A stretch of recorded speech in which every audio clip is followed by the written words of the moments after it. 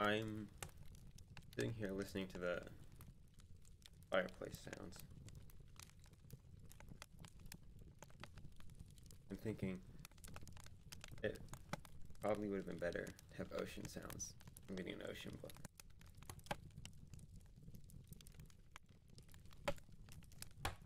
Conclusion to the Sunday Fiasco saga. Pausers. Got a new job, pausers. A better job, pausers.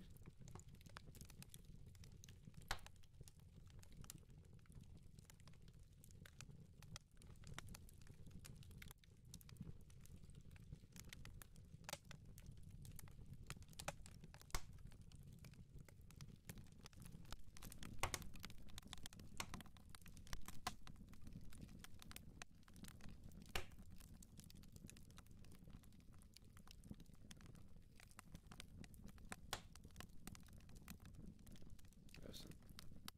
I do this.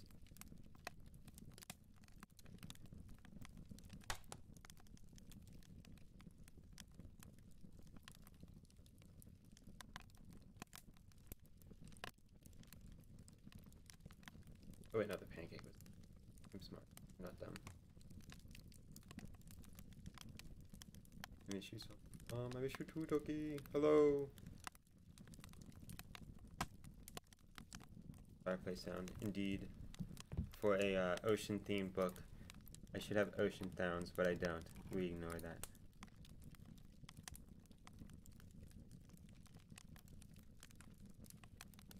Also, the reason. I think I can do this. Yeah. Doros. Let's do this. Should work. Bam. It doesn't work. Wait, there it is. The reason I'm doing this whole reading thing. It's been like three weeks. Lala got me this raccoon butt bookmark. Lala, the biggest cutie. And so I went out and bought books to read on stream because it's the logical thing to do, obviously.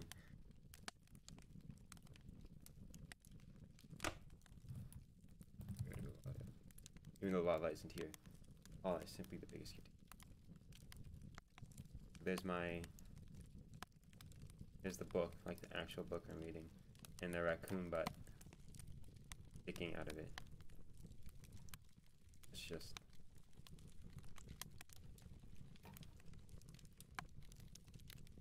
this. In the corner. I can just sit there. I should have done this in the beginning. Um.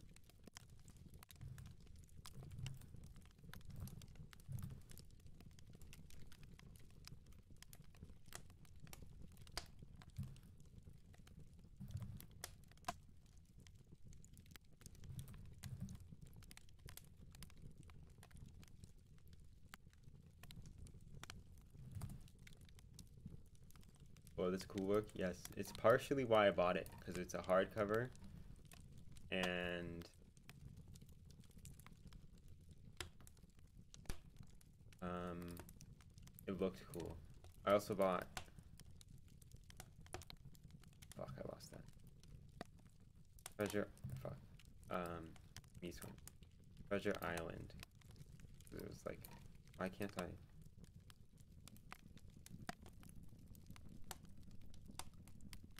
There we go. So much stuff on the screen now. It's beautiful.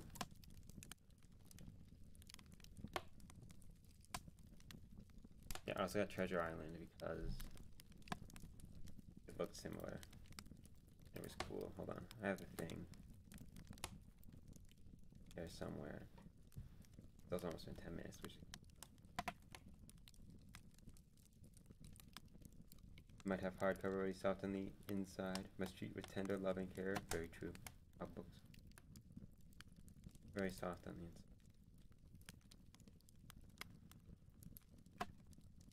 Yeah, here it is.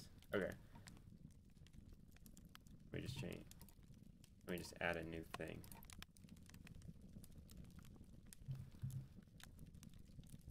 There we go. There's Treasure Island.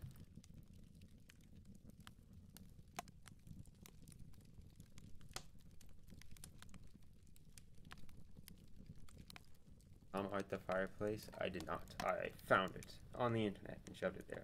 Same with the background picture.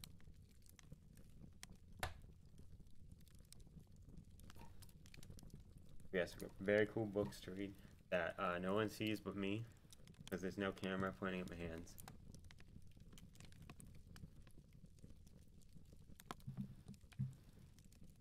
But uh, they exist, and I'll just leave this picture here for all to see the raccoon butt. That probably won't be noticed.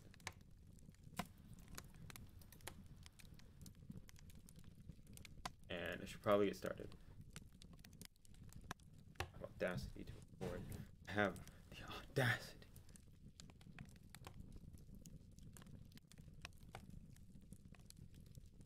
Uh, Roman numbers time. Alright, um, I want to try and do six chapters. Today's what? Detail four. So I should end at chapter 24. Okay. Just because we randomly did six chapters first and then ship chapters next. And so we're just doing six chapters consistently. I also have to move I think. So it's right there, because I think that records better.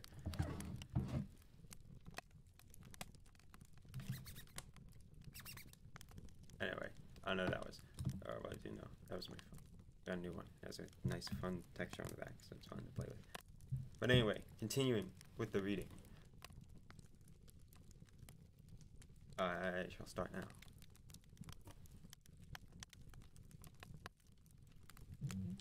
Chapter 19 The Island of Vanikoro. This awful sight was but the first of a long series of maritime catastrophes which the Nautilus was to encounter on its course. As long as our ship plowed the more frequent waters we were seeing at intervals, the hull of wrecked vessels rotting in the depths.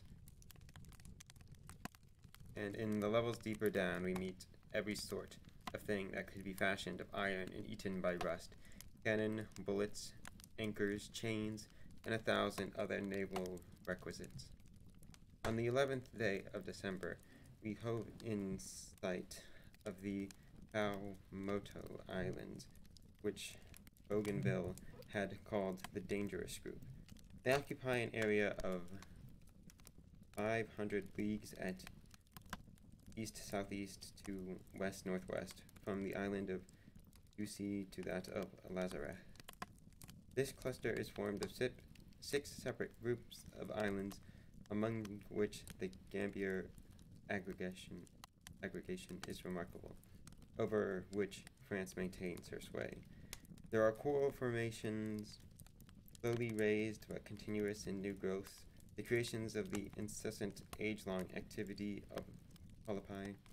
Throughout the long ages yet to come in the history of the world, one new island after another will be joined to the neighboring groups, until finally, in the perfection of geological time, a fifth continent will reach from New Zealand and New Caledonia on across the present desert wastes, the Marquesas. Once upon a time, when I was suggesting this new theory of mine to Captain Nemo, he replied coldly, The Earth does not need new continents, it needs new men. It was choice alone, I suppose, that had conducted the Nautilus toward the island of Clement Unere, one of the more curious of the group that was discovered in 1822 by Captain Bell of the Minerva. Here I had my long coveted opportunity to study the madreporial system of building, which the islands in this part of the ocean owe their life. You must not make the mistake of confusing madrepores with coral. They have tissue lined with a calcareous crust, and the variations of this structure have led the great naturalist Mr. Mylon Edwards, my worthy master, to classify them in five sections. Animalculae, that the marine polyp polypus secrets live by, the billion at the bottom of their cells. Their calcareous deposits become rocks, reefs, and islands In one place, they form a ring which surrounds some tiny island, inland lake that communicates with the sea by means of gaps, left there as if by intention. In another place, they erect barrier after barrier of reefs, like those on the coasts of New Caledonia and Paumotu.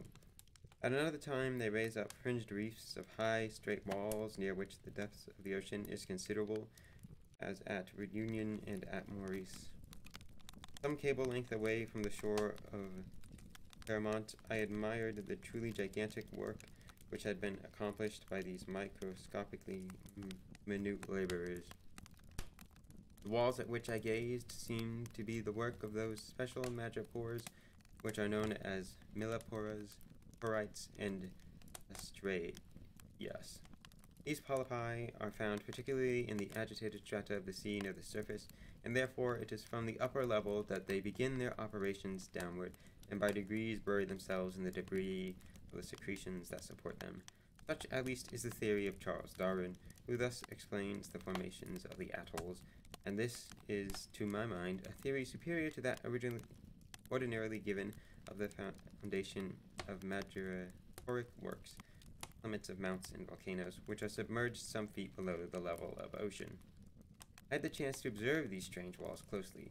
Perpendicularly, they were more than 300 yards deep, and the white sheet of our electric glare lighted this calcareous material brilliantly.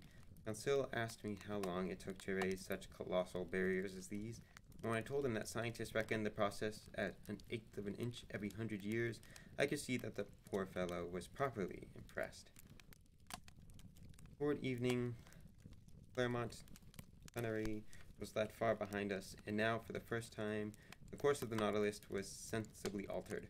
After we crossed the Tropic of Capricorn in 135 degrees longitude, we began to sail west-northwest, heading once more for the tropical zone.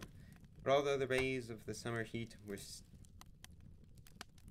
stifling in their intensity, we did not suffer the least discomfort, as at a depth 15 or 20 fathoms, the temperature did not exceed an ordinary pleasant mark. On December 5th, we passed to the east the bewitching group of societies in Tahiti, graceful queen of the Pacific. In the morning of the day I name, several miles to windward, I beheld the elevated summits of this island. Her waters furnished our table with excellent fish, such as mackerel, bonitos, albacores, and yet here I had the doubtful joy of sampling certain varieties of a sea serpent called Merinophis. On Christmas Day, we shot into the midst of the new Hebrides, discovered 260 years before by Burroughs, and within a century of our own time, explored by Bougainville and Cook.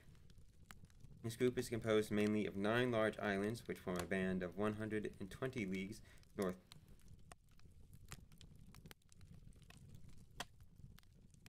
south, south southwest between 15 degrees and 20 degrees south latitude and 164 and 168 degrees longitude. We edged quite near to the island of Aurora, which in the noonday sun looked like a mass of green forest, surmounted by a peak of commanding eminence.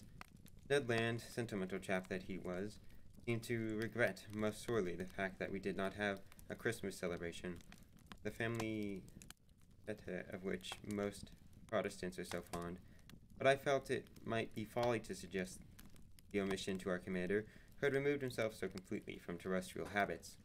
I had not seen the letter the latter for a week or so when, on the morning of the 27th, he entered the saloon and acted toward me no differently than if he had parted with me five minutes before.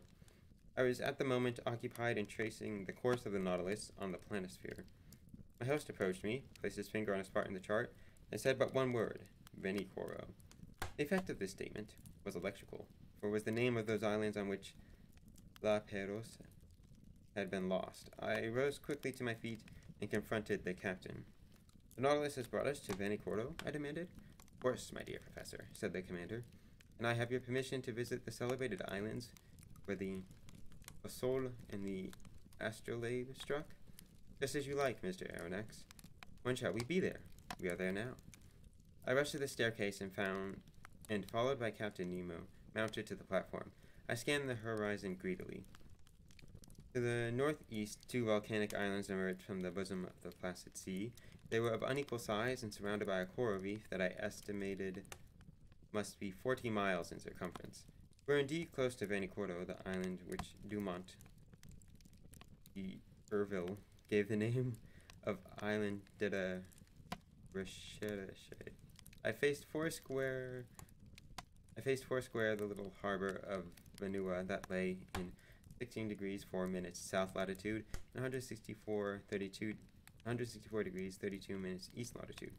Its, its soil was covered with verdure from shore to interior summits, and these were crowned by the round diadem of Mount Kapogo, 500 feet high.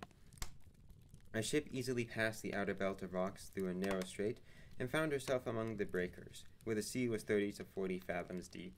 Under the abundant shadow of some mangroves, I perceived some naked savages, who of course evinced great astonishment at our approach. It was fairly evident to me that in the long black body swimming up between wind and water, there were some they saw some formidable cetacean, and they regarded us with vast suspicion. Captain Nemo inquired as to what I knew of the wreck of La Perouse, and I replied uh, that I knew just what everyone did. And can you tell me the story? he asked ironically. Easily, I said, and here it is. D'Urville's account of La Perouse's death. In the year 1785, the great commander and his second officer, Captain de Langley, were ordered by Louis the 16th of France on a voyage of world navigation and discovery. Accordingly, they embarked in the corvettes Boussole and Astrolabe, neither of which was heard of again. Six years later, the French government, uneasy as to the fate of these two sloops, manned and equipped two great merchantmen, the Recherche and Esperance, which sailed from Brest of Brest the 28th of December 1798 under the command of Bruni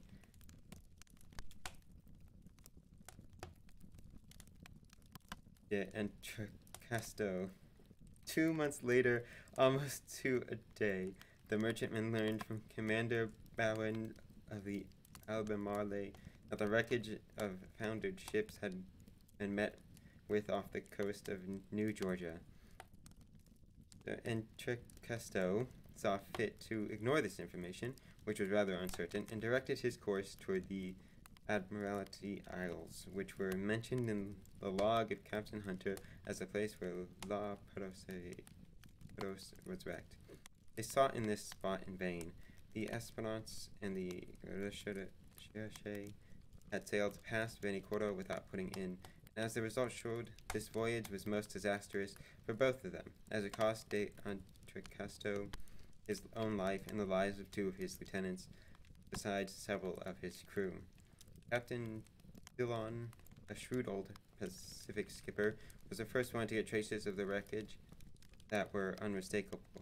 On the 15th of May, 1824, he was passing in his ship, the St. Patrick, close to Tikopia, an island of the New Hebrides group.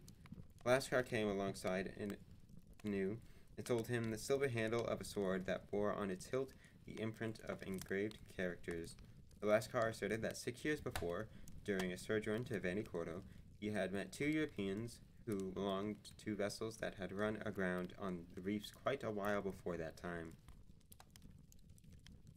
Dillon, of course, at once guessed that the man meant La Perouse, whose disappearance had startled the whole world. He made plans to reach Vanikoro if he possibly could, there, the Lascar swore, he would still find debris from the wrecks, but winds and tides prevented Dillon from carrying out his scheme at that time. He returned to Calcutta. There, he managed to interest the Asiatic Society of and the Indian Company in his discovery. A vessel named the Recherche, in honor of its ill-starred predecessor, was put at his disposal, and late in January 1827, accompanied by an agent of the French government, he set out on his quest. After touching at several ports in the Pacific, the Dati Recherche cast an anchor before Vanikoro, July 7, 1827, in the very same bay of Vanua where the Nautilus was at present resting. There, just as the Lascar had promised, Dillon was able to assemble numerous relics of the wreck, among these were iron utensils of varied kinds, anchors, pulleys, pulley strops, swivel guns, an 18-pound shot, fragments of astronomical instruments, a piece of crownwork, and a bronze clock bearing the inscription Bazin m'a fait. This was the trademark of the foundry at Brest about 1785. There could no longer be any doubt as to the fate of La Pérouse's expedition. Dillon remained in the unlucky place until October, making every inquiry and search that his wit could devise. Then he quit Vanikoro and directed his course toward New Zealand. He put into Calcutta April 7, 1828, and from there returned to France, where he was accorded to a royal welcome by Charles X. Now, at the same time, without any knowledge of Captain Dillon's movements, Dumont d'Urville, d'Urville had set out on his own initiative to find the scene of the wreck. He had learned from a passing whaler that several medals and a cross of St. Louis had been found in the hands of some savages at Louisade and New Caledonia. On receipt of this information, Dumont d'Urville commander of the Astrolabe, namesake of the earlier vessel of like title, had immediately sailed, and not quite two months later after Dillon had left Vanikoro, he put in at Hobart Town. There, for the first time, he was informed of Dillon's inquiries, and he found that at certain James Hobbs, second lieutenant of the Union of Calcutta, had seen some iron bars and red stuffs used by natives of these parts. Hobbs had come across them while on an island situated 8 degrees 18 minutes south latitude and 156 degrees 30 minutes east longitude. Much perplexed and not knowing how fully he might credit the accounts he read in untrustworthy journals, Dumont d'Urville yet decided to follow Dillon's track. Thus, on February 10, 1828, the Astrolabe appeared off to Copia and took away as guide and interpreter a deserter found on that island. He continued his course to Vanikoro, sighted in the 12th instant but was forced to lie among the reefs until the 14th. And not until the 20th, because of adverse winds and currents, could he cast anchor within the barrier in the harbor of Vanua. On the 23rd day, several officers made a complete tour of the island and brought back with them some unimportant trifles. The natives whom they questioned regarding the wreck pretended ignorance and told more than one evident falsehood, even refusing to lead them to the scene of the disaster. This strange conduct on the part of the savages led the officers to believe that the natives had ill-treated the castaways and were fearful that Dumont d'Urville had come to avenge La Pérouse and his unfortunate crew. Three days later, however, their suspicions lulled by valuable presents and uh, finally believing that they had no cause for fear, they led Mr. Jacquint to the spot of misfortune, and there, in all truth, buried in three or four fathoms of water between the reefs of and Vanua lay anchors, cannons, pigs of lead and iron embedded in the tiny liney cushions. The large boat and the whaler of the Astrolabe were at once dispatched to this place, and not without much difficulty, the crews hauled up an anchor weighing 1,800 pounds, a brass gun, some pigs of iron, and two copper swivel guns. Now Dumont d'Urville, on questioning the natives, discovered that La Pérouse after both of his vessels had been lost on the reefs of the island, had built himself a smaller boat, but only to be lost a second time. Where? How? No one knew. The French government feared d'Urville might not be acquainted with Dillon's movements, and so it had sent the sloop Lyonnaise, commanded by Legar Arant de Tremelin, to Vanikoro. This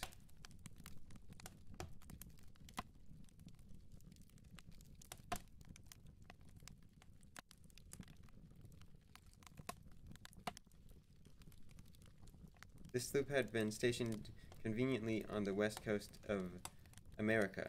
The Lyonnaise cast her anchor in the harbor of Vanua some month after the departure of the Astrolabe, but de Tremelin had found no new document that previous search had overlooked. He was able to state that the savages had respected the monument raised to La Pérouse, and that is the end of the story of the wreck of La Pérouse, and that is the substance of what I told to Captain Nemo. So you really think, he said, that no one knows where the third vessel perished, the one that was constructed by the castaways on the island of Vanikoro? Yes, that is exactly what I think, I answered. Captain Nemo said nothing further at that moment, but signed to me to follow him into the main saloon. The Nautilus sank several yards below the waves, and the panels were opened. I hastened to the aperture and at first could see nothing but crustaceans of coral, which were covered with fungi, siphonules, alcyons, and madrepores, and everywhere around were the expected myriads of fish, yarwhales, Glyphistidae, Omphridiids, Diacopes, and holocenters. After a little, however, turning my gaze downward, I recognized certain debris that the drags of earlier searches had been able, unable to raise. There lay iron stirrups, capstan fittings, cannons, the stem of a ship, all objects that clearly proved the wreck of some vessel and that now were carpeted with living flowers. While I was gazing intently at this desolate picture, Captain Nemo said in a sad voice, Commander La Pérouse set forth December 7th, 1785, with his ships La Boussole and the Astrolabe. They he first cast anchor at Botany Bay, then visited the Friendly Isles and New Caledonia. Thereafter shaped his course towards Santa Cruz and to put into Namoka, one of the Apai groups. Then came the end, for both his vessels struck on the reefs of Coro. The Boussole was went first to attempt an entrance to the harbor and ran aground to the southerly coast. The Astrolabe hurried to its aid and likewise stranded. The first ship pounded to pieces almost immediately. The second, lying less dangerously because under the wind, resisted destruction for some days. The natives made the castaways welcome. The latter installed themselves comfortably on the island, and out of the wreckage of two lost ships, they built a smaller boat. Now, some of the sailors, weary of battling with fate and content with their happy situation on the island, deserted and remained at Vanikoro. But others, including all such as were weak and ill, set out with La Pérouse. They set their course for the Solomon Isles, and at that place they perished, sinking with everything on board off the westerly coast of the main island of this group, between Capes Deception and Satisfaction. Tell me, my friend, how you know this to be true. By this token, which I found on the spot where the last catastrophe occurred. Thereupon, my host showed me a tin plate box stamped with the French coat of arms and much corroded by salt water. He opened the case, and I saw a bundle of papers, yellow and mildewed, but readable. They were none other than the instructions of the Minister of French Marine to Commander La Pérouse, and in their margins were notes written by the hand of Louis, Louis the Sixteenth. Ah, it's a fine fit end for a sailor, said Captain Nemo after a long pause. A coral tomb makes a quiet grave, and I trust that my comrades and I shall find no worse of one.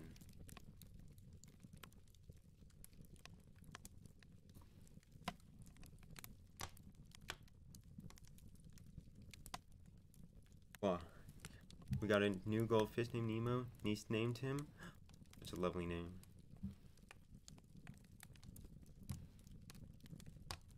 Lovely goldfish. Buffering. Oh, woo. Okay, hopefully that means the buffering's fixed. I kind of get focused. It's hard to reach out. Hello, Diener. Hope your day is going well. Also, remember, um, daylight savings happened in some parts of the world and not in other parts of the world. And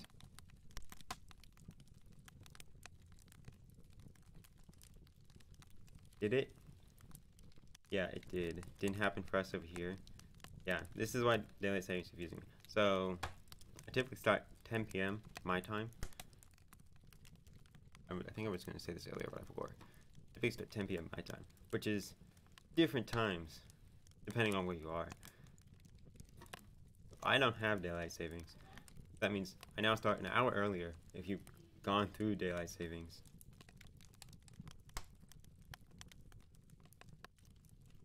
And if you haven't done it yet, it's the same time, but if you do it later, it's an hour earlier at some point. Yeah, uh, daylight savings. Confusing. Uh, not really useful. Yeah, we have it way earlier than the US. I see, interesting. Confusingly annoying. Exactly. I thought it was only US. Unfortunately, it's everywhere. So. And not even all in the US, because I'm in the US. I don't do daylight savings. But my time hasn't changed at all.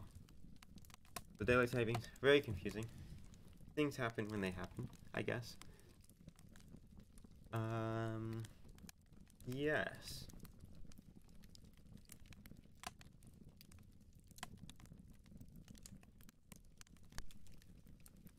Not everywhere in the U.S. Yeah, not everywhere in the U.S.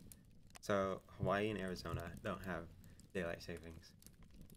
So it happens some places, doesn't happen others. We suffer through it. People get confused.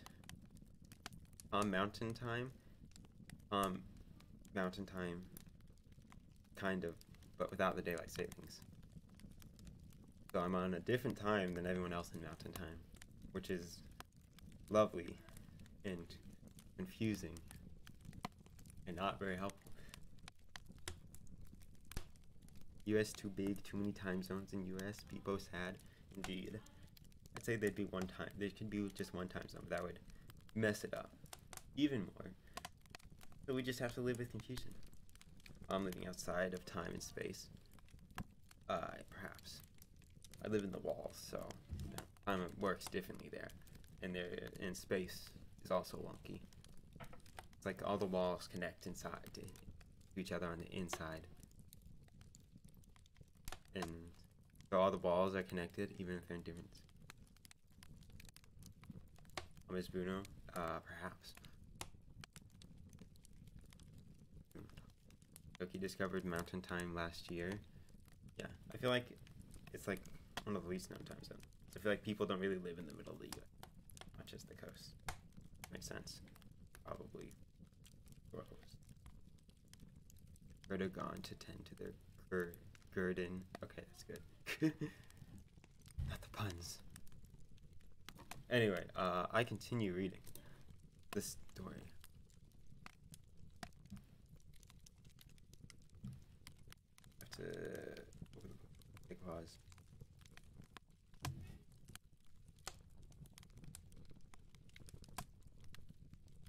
Remember to drink water, folks. It's important to stay hydrated.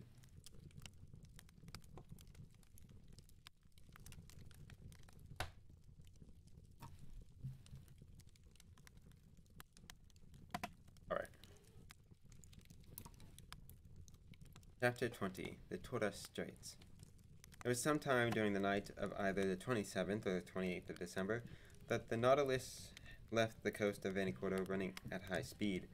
The course this time was southwesterly, and in three days she had discovered she had covered the 750 leagues that separate it from La Perouse's group and the southeast point of Papua.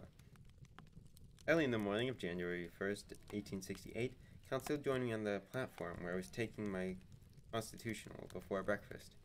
Master, will you not permit me to wish you a happy new year? He inquired as he confronted me with a faith wreathed in happy smiles with out, hand outstretched in greeting. Ah, Conseil, right, gladly. It is quite as if I were in my Paris study at the Jardin de, de Plantes. I accept your good wishes and thank you for them. Only I must ask you just what you mean by the phrase Happy New Year, which our present circumstances scarcely seem to justify. Do you mean the coming year will see the end of our imprisonment, or will you still deem it a happy one if it witnesses only the continuation of our strange voyage? On my word, sir, I hardly know how to answer you. One thing is for sure, and that is, we are bound to see curious things. For the last two months, we have had no time for boredom. They say the last marvel is always the most wonderful one, and if we continue this uncanny progression of incidents, I, for one, cannot imagine how things will end. We can never hope to see the like again if we live to be a thousand, and so, meaning no offense to you, sir, I think the happiest sort of year would be that one in which we could see everything. On January 2nd, I figured that we had made 11,340 miles, or 5,250 French leagues, since our starting point in the Japan seas. Ahead of us stretched the dangerous shores of the Coral Sea on the northeast coast of Australia. My ship, at the very moment of my calculations, lay some miles distant from the notorious bank on which Cook's vessel was lost in June 1770. The boat in which the redoubtable navigator was sailing struck on a rock, and if it did not sink, this was due to the piece of coral rock that was splintered by the shock of collision, and that became impinged on the broken keel. I had hoped, oh how earnestly, to visit this reef, 360 leagues in length, against which the sea, always rough at this place, broke with great violence, and with a roar like thunder or cannonade. But as chance willed it, the inclined planes were just then drawing the Nautilus down to a great depth, and I could get no glimpse of the high coral walls. Instead, I was obliged to center my interest upon the different specimens of fish which net the nets brought to us. Among many others, I remarked several German germons, a species of mackerel with bluish sides and as large as a tunny. These fish are striped with transverse bands which disappear the moment the animal loses his life. They followed us in shoals and provided us with a most delicate food. We also captured a great number of gilt heads, fish about one and a half inches long, that tasted like dories, and flying parapets, the swallows of the underseas, which on dark nights spend their phosphorescent light alternately on air and water. Among the mollusks and zoophytes, I found in the meshes of the sinus several specimen, seven species of alcyonarians, tinny, hammers, spurs, dials, cerites, and alea. The flora of these parts of the ocean were represented by splendid floating seaweeds, laminaria, and macrocytes, the latter impregnated with the mucilage that oozes through their pores.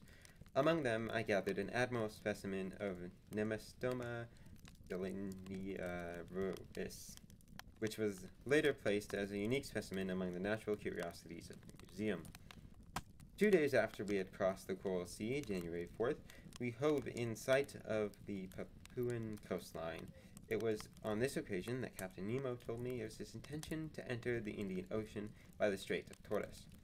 Apparently, he thought proper not to inform me further on the subject, for his communication ended there. Now, the Torres Straits are nearly 34 leagues wide, but they are choked by numberless islands, islets, breakers, and rocks. These render its navigation well nigh impractic impracticable. It would require all the precautions our commander could take to make a successful passage. The Nautilus, floating between wind and water, was forging ahead at a moderate pace. The propeller, like a cetacean's tail, beat the waves slowly. Profiting by this fact, my two companions and I went up on the deserted platform. Before us was the steersman's cage, and I had every expectation that Captain Nemo himself was in there, directing the course of his craft. Spread out before me, I had the excellent charts of the Strait of Tortoise, published by that excellent hydrographist Vincendon du Moulin. These prints, together with those of Captain King, give the most accurate picture of the intricacies of this vexed ribbon of water, and I studied them minutely. About about the Nautilus, the confined sea was dashing furiously. The current of the waves that ran southeast to northeast at the rate of two and one half miles was spending itself in spume on the coral that showed at intervals. A bad stretch of water, remarked Ned Land. Detestable from any point of view, I said, in hearty agreement. And what is worse, it's a sea that does not suit such a craft as ours.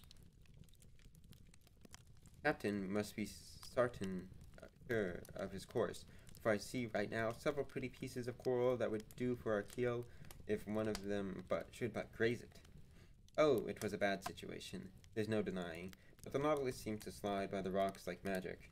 We were, of course, not following the routes of either the Astrolabe or the Zélie, for they had proved fatal. Our line of progress bore more to the northward, skirted the islands of Murray, and then twisted sharply to the southwest toward Cumberland Passage. I thought for a flash of time that we were going to pass by the passage, but no. We swung northwest at a dizzying pace and penetrated a great quantity of islands and islets that are little known, emerging near Island Sound and Canal Mauvais. I wondered then whether Captain Nemo, momentarily imprudent, would steer his ship into the pass where Dumont d'Urville's two corvettes touched rock, but a third time we swerved marvelously and cut through straight ahead to the west, steering for the island of Gilboa. I looked at my watch. It was three o'clock in the afternoon. The tide was at its height and presumably was already beginning to ebb. Our ship came so nigh the island, which I can still see in my mind's eye, with its thick border of screw pines, that we were standing off a distance of less than two miles. At that instant, a shock threw me to the floor. The Nautilus had just touched a rock and was now immovable, listing lightly to port. By the time that I had recovered from my flurry and risen to my feet, I perceived Captain Nemo and his lieutenant on the platform. They were studying the position of the vessel and exchanging rapid phrases in their incomprehensible dialect. The situation was as follows. Two miles or so away on the starboard side loomed Gilboa, its dark line stretching from north to west like a great outthrust arm. Towards south and east, some coral had begun to show above the water. Left high by the receding tide, we had run aground, and in one of those seas where the race of the tide is middling, a uh, sorry business, so far as the floating of our craft was at stake. And yet the vessel had not suffered visible damage, for her keel was too solidly joined to permit of easy disruption. The problem was then simply this. If the Nautilus could neither glide off nor move by its own power, she ran the risk of remaining forever fastened to these rocks, and then Captain Nemo's submersible would indeed be done for.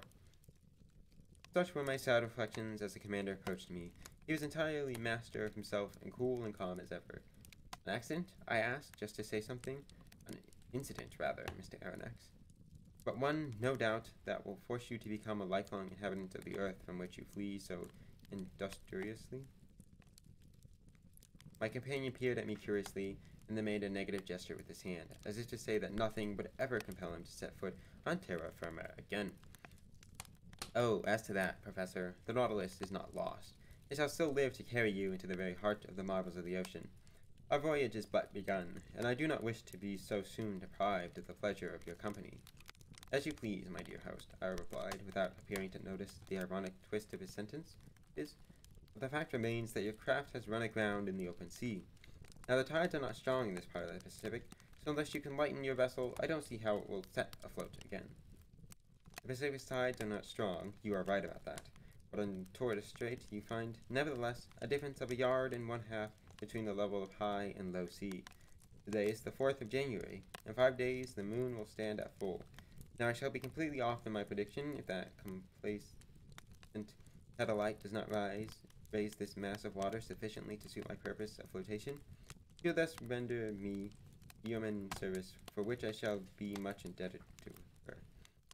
On the heels of this speech, Captain Nemo left the platform, and Reed descended with his lieutenant to the interior of our ship and this vessel was as immovable as if the coralline polypi had already walled it up with their indestructible cement.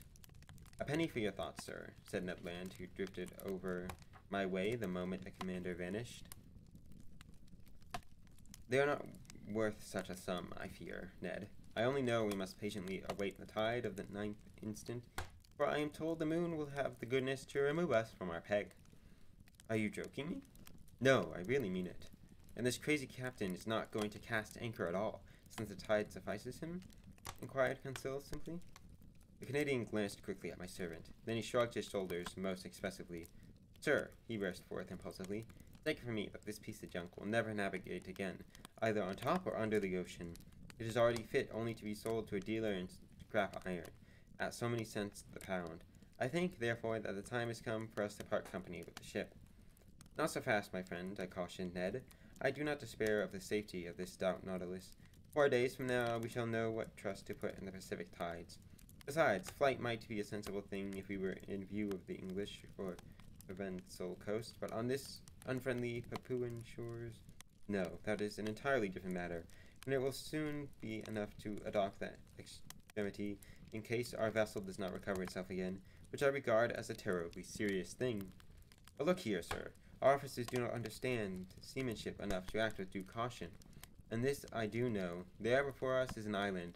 On that island are trees. Under those trees, terrestrial animals roam. These animals are bearers of cutlet and roast beef to which I would should willingly give trial. Ned seems to me quite right in his contention, observed Conseil.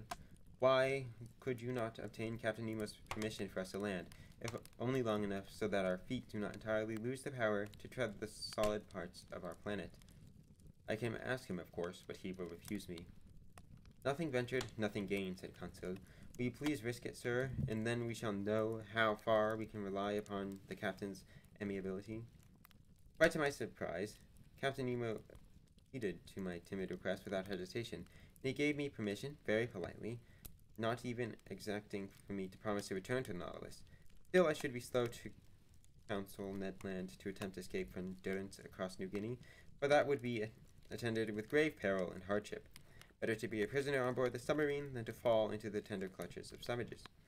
Armed with electrical guns and hatchets, we got away from our craft at 8 o'clock the next morning. A slight breeze was blowing on land, but the sea was reasonably calm. Conseil and I sped in a small boat quickly along with our oars, and Ned steered in the narrow passage that the breakers left between them. The boat was well handled and moved like a charm. The harpooner could scarcely restrain his glee. He was like a captive newly escaped from a prison who did not realize that he must sooner re-enter the walls of his cage. Three cheers for meat, he cried joyfully. We'll soon be eating good red meat. And what meat? Real game, if we could only have a bite of bread with it. Ah, I do not say that there is no virtue in fish. Let us not abuse honest food of any kind. But by criminy, a piece of fresh venison grilled on live coals will agreeably vary our uh, ordinary diet. Will it not, little cabbage of con a consul? Shut up, you gourmand, growled my servant. You are making my rough mouth water most in unendurably. Let me not be a spoil sport. I said, but really, my friends, it remains to be seen whether these forests are full of game, and also whether the game is not of a kind that will do the hunting, with ourselves as the objects of pursuit. Well said, Mr. Aronnax, remarked the Canadian, whose teeth seemed to have become as sharp as the edge of a hatchet, but I am not one to hang back and finnick where there's no eating to be done, or when there's eating to be done. I'll eat tiger fast enough, loin of tiger, if there are not more savory quadrupeds on this island. Friend Ned grows vastly impatient, said Conseil slyly. You bet I do, said the harpooner, asserted. Whatever the prey is, any animal with four paws and no feathers, or two paws and feathers, gets saluted by my first shot. I'm afraid Land's imprudences are beginning again. I could not resist saying, for I was growing uneasy. Never you fear, Professor, the Canadian replied, unabashed. I shan't ask more than twenty-five minutes to offer you a dish of the sort I have in mind. At half past eight, the Nautilus's boat ran softly aground in a heavy sand after we had successfully negotiated the coral reef that encircled the island of Gilboa.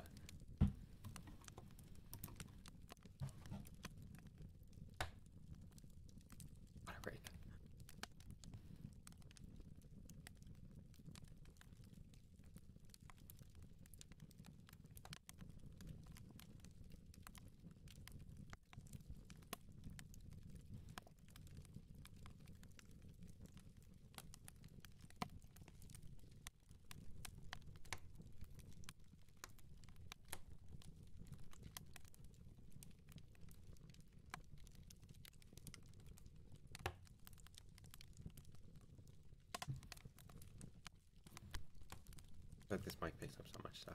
We ignore it though. Surely is we ignore everything.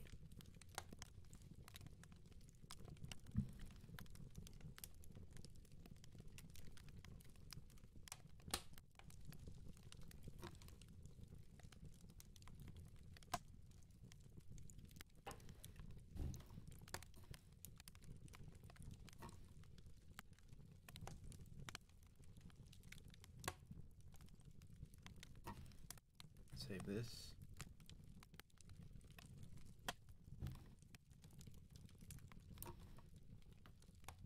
Chapter 21 Arcadian Days on Land. I was more deeply moved than I expected the moment my feet again touched land. Ned tried the soil with the toe of his boot before he stepped out to take possession of it. Now it was only two months before this day that we had been received on board a submersible to become passengers on it, and yet, to all intents and purposes, we had been prisoners, and none had understood this fact better than we. Therefore, the time had often seemed an eternity. Well, in a few minutes after landing, we were a gunshot away from the inhospitable coast. The soil we found was mostly madreporial. Still, certain beds of dried up torrents, strewn with debris of granite, showed clearly enough that the island was of primary formation. The trunks of the enormous trees attained a height of 200 feet, and they were tied together by ropes and garlands of bindweed, which furnished real natural hammocks that a light breeze was rocking. There were mimosas, ficuses, Casuarinae, tex, hibisci, and palm trees, mingled together in amazing profusion, and under the shelter of their verdant vault grew orchards, leguminous plants of every description and variety, and ferns. You may believe that the Canadian, however, paid scant homage to these beautiful specimens of Papuan floral. Almost immediately he abandoned the agreeable for the useful. His eyes lighted upon a coconut tree, and he beat down some of the fruit with his rifle butt. We broke the nuts and ate the meats and drank the milk with a smacking of the lips that spoke volumes as to our dislike of the restricted diet on the Nautilus. I call this bully, exclaimed Ned Land. Excellent, agreed the more complacent Conseil. You know what? blurted out the Canadian excitedly. I don't believe our captain would object to our bringing a cargo of coconuts back to the submarine with us. I don't think he would object, I said, but he surely would not taste of them himself. So much the worse for him, grinned Conseil. And all the better for us, asserted Ned Land. There will be all the more for us three. Just a word of warning, my gentle friend, I said to the harpooner, who was already beginning to ravage another coconut tree. This succulent fruit is a wonderful thing, but would it not be wise to take a look around before we load down the canoe with them? Who knows, perhaps the island produces another substance no less useful. Fresh vegetables, for instance, would be mighty welcome on board the Nautilus. You are right as usual, sir, replied Conseil. I propose to reserve three places in our boat. One for fruit, another for vegetables, and a third for venison. I have as yet, Ned, not seen the slightest indication of this meat, despite your ardent boasts. Just don't you despair, my friend, said the Canadian. Let's start on, shan't we? I suggested in my turn. But keep on the lookout. It is true the islands seem uninhabited, but it may after all contain some individuals who would be less particular than we as to the sort of venison they sought. Oh ho! ejaculated the harpooner, moving his jaws about in a most significant fashion. Why, Ned, demanded Conseil, what are you up to? My word, retorted the Canadian, I'm just beginning to appreciate the delights of cannibalism. What are you giving us? You a man-eater? I guess I can't feel safe with you hereafter, especially since we share the same cabin. I'll wake up some fine day to find myself half consumed. Don't worry, little cabbage. I'm fond of you, but not enough to devour you if there's any other food going. Oh, I wouldn't trust you around the corner, asserted Conseil. But one thing is clear enough. We must absolutely bring down some red meat to satisfy this flesh-eater, or someday my master will not find enough pieces of Conseil left to be of any service to him. While we were working off our high spirits in such chatter, we were penetrating even, ever deeper into the somber arches of the primeval forest, and for a period of some two hours we continued to explore our game preserves in all directions, but without tangible result.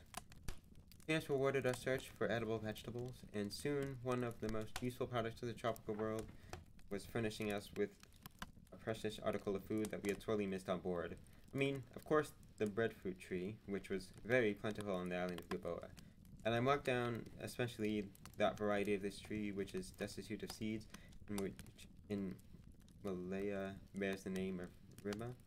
Ned Land, as was natural, knew these fruits well, for he had already eaten many of them on his previous voyages, and he understood how to prepare the edible parts delightfully. The sight of them so excited him that he could scarcely contain himself. Professor, he shouted, I shall die on the spot unless I have a taste of this bread fruit pie. Save your life, dear boy, by eating as much as you want. We are here to make experiments, so why not make them?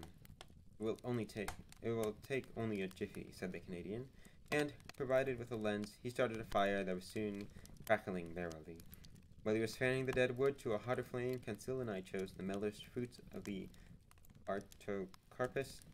Some ears of this had not yet reached a proper state of maturity, and the tough skin concealed a white, fibrous pulp, but others, most of them yellow and gelatinous, were only waiting to be picked. These fruits enclosed no kernel. Conseil brought a dozen, a dozen of them to Ned Land, who placed them on a fire of coals after he had cut them into thick slices. During this whole time of preparation, the worthy fellow kept repeating, You'll just see, Mr. Aronnax, how good this bread is. Diminy, but won't it go right to the spot after being deprived of it so long? It isn't even common, ordinary bread either. It's a delicate pastry. Did you ever eat any, sir? No, but I've always longed to have the chance to. All right, then, just get your mouth set for a real juicy meal. If you don't come back for a second helping, I never learned to throw a harpoon. After but a few minutes, that part of the fruit which was exposed to the fire was completely charred. The interior of it resembled a white, soft sort of crumbly paste, and its flavor reminded me of an artichoke. It must be confessed that this bread was of an unusual excellence, and I ate my share of it with savage relish. What time is it now, I wonder? asked Conseil, but not, I noticed, until after he had his fill of the fruit. Two o'clock, at least, I replied, after a sight of the inclination of the sun. How time flies when you're on firm ground, sighed my servant. Let us make quick use of it, then, I suggested. We traced our way back through the forest, along the path we had blazed with our hatchets as we first walked it. We dawdled a bit to enrich our store of vegetables by a raid upon the cabbage pond, whose fruit we had to gather from the very tops of the trees, we then added to our supply yams of a superior quality and little beans, which I recognized as the abro of the Malays. We were well loaded down by the time we reached our canoe, although Ned Land was grumbling because he did not find our store of provisions sufficient for his greedy mind. In this, as in all else that golden day, fate favored us. Just as we were ready to push off from shore, I perceived several trees that were from twenty-five to thirty feet in height. They were species of palm tree that bore Fruits as valuable as the artocarpus and justly reckoned among the most useful products of Malaya. Malaya. At last, about five o'clock in the morning, we quit the shore. Half an hour later, loaded with our riches, we spoke the Nautilus. No one answered our hail or appeared on board to bid us welcome. The enormous iron-plated cylinders seemed deserted. After I had seen the provisions safely embarked and stored away, I descended to my cabin, and after a hearty supper, slept most soundly. The next day, January 6th, nothing new happened on board. There was not a sound of any kind, nor any sign of life. The boat moored at the side of the Nautilus in the very position in which we had left it the day before. We resolved to return to the island. Ned Land hoped to have better luck with his hunting and had decided to explore a new portion of the woods. We set off for terra firma at the break of day. The boat, propelled by the waves that were floating shoreward, reached the island in a few minutes. We clambered quickly out to follow Ned Land. Conseil and I both judged it was wise to yield precedence to the Canadian, whose long legs were already threatening to outdistance us. His path wound up the curving coastline toward the west. He forded several torrents and gained the high plain, which was bordered by admirable forests. Some kingfishers were rambling awkwardly along the water, but proved too shy to permit our approaching them closely. Their caution regarding us proved to me that these birds knew what sort of treatment they might expect from bipeds of our species. I thus concluded that the island was not actually inhabited, it was at least often visited by human beings. After plodding across a rather wide prairie, we came to the outskirts of a small wood which was enlivened by the songs and the flight of a great number of birds. Too bad, mourned Conseil, whose carnal instincts had been awakened to our journey of the previous day. They are only birds. But I guess you can eat them, can't you? asked the harpooner. I doubt whether you can, my friend, for they are only parrots. Let me show you, little cabbage, said Ned gravely, that to those who have nothing better, parrots taste like pheasants.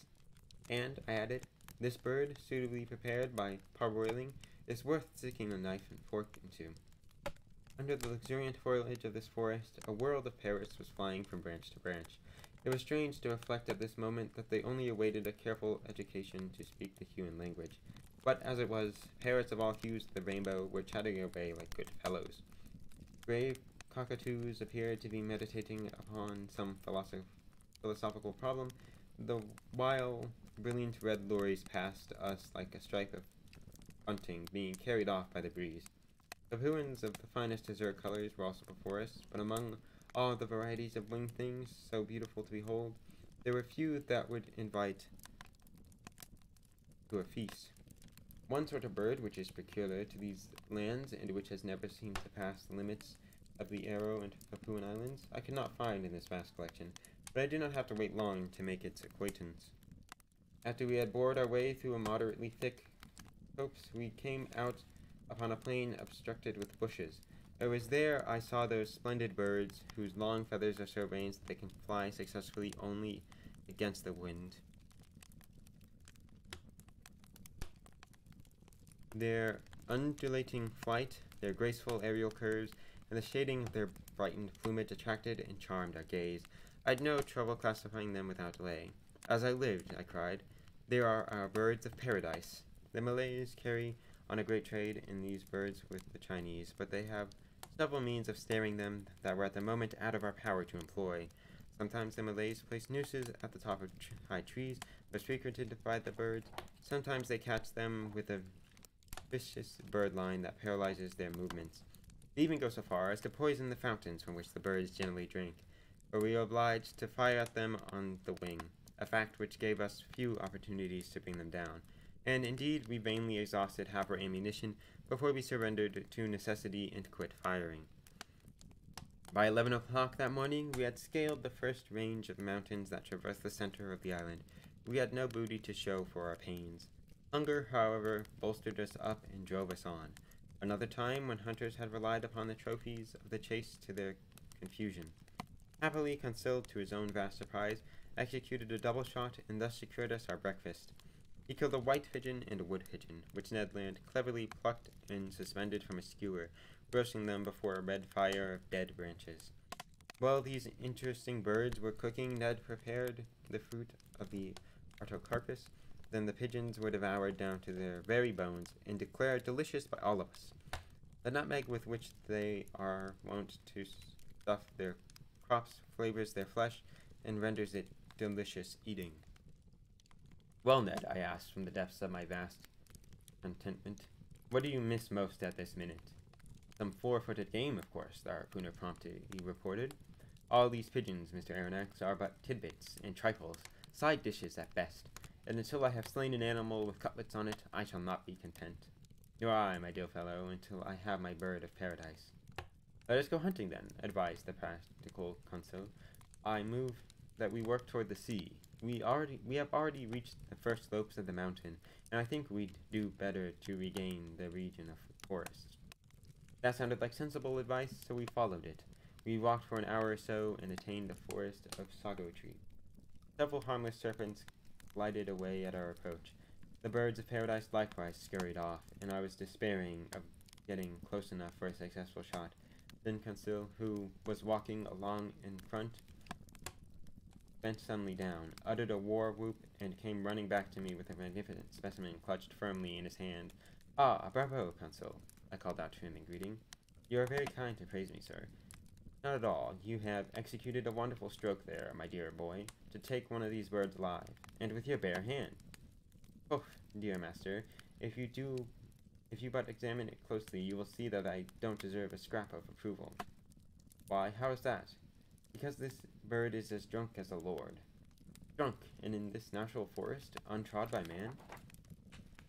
Positively a fact, sir.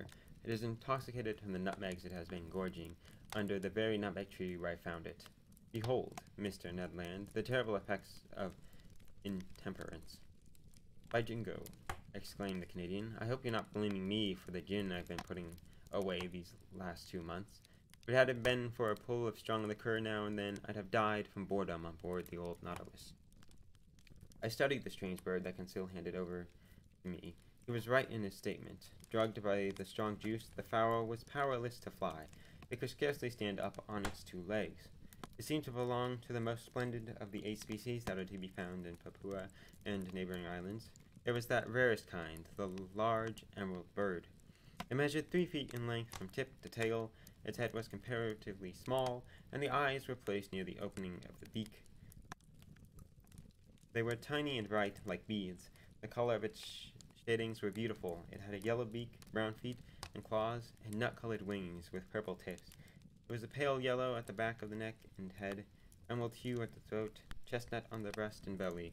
Two horn-shaped downy tufts rose from below the tail that are prolonged by long, light feathers of wonderful fineness. and when one considers the whole plumage of this marvelous fowl, one does not wonder at the native name for it, bird of the sun. And so my wishes had been granted, and I possessed the bird of paradise. But Canadian's yearning for venison was still unquenched. It helped things some, of course, when about two o'clock Ned Land shot down a magnificent hog of the species the natives call berry otang. The animal came in time for us to procure real quadruped meat, and he was well received, like the mayor at the fair. Our friend was right, proud of his skillful shot, for the hog, struck by the electric bullet, fell stone dead, while yet in full flight.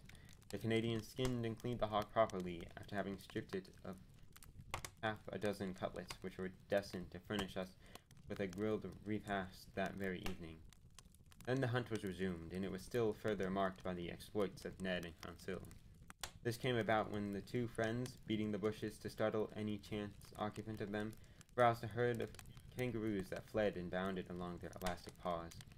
Swift was, as was the attempt to escape of these animals, it was powerless against the electrical capsules provided by Captain Nemo. Oh me, oh my, Professor, shrieked Ned Land, transported by the delights of the chase. How they will taste stewed in the pot. What a ripping supply for the old Nautilus. There are two down, three, five by Cappy. And to think we're going to get our molars into that flesh, and the other idiots on board won't even have a smell.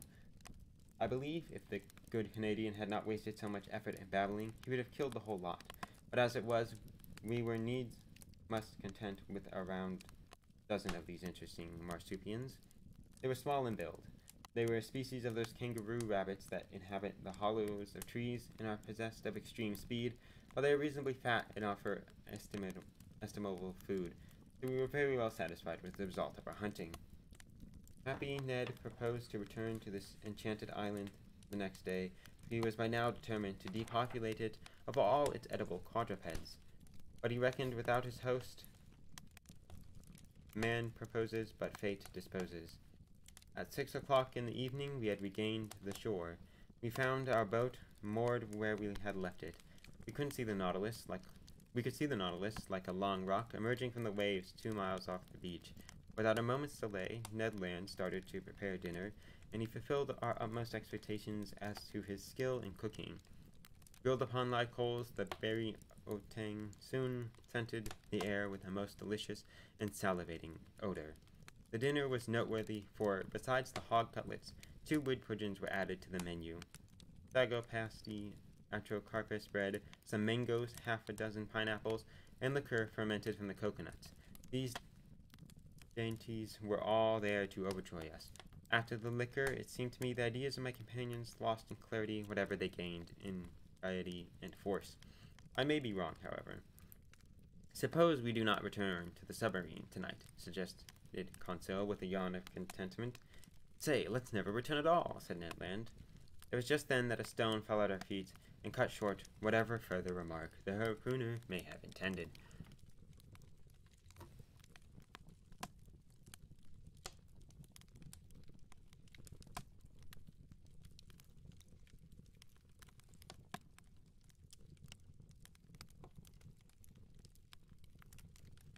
Okay, water break. We're changing water.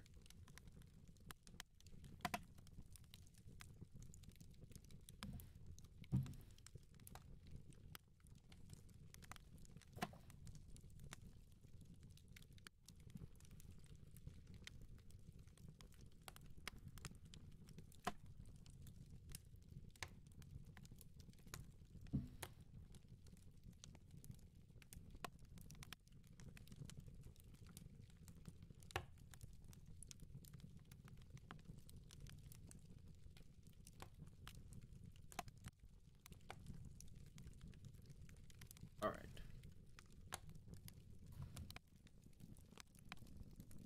Okay. And we continue.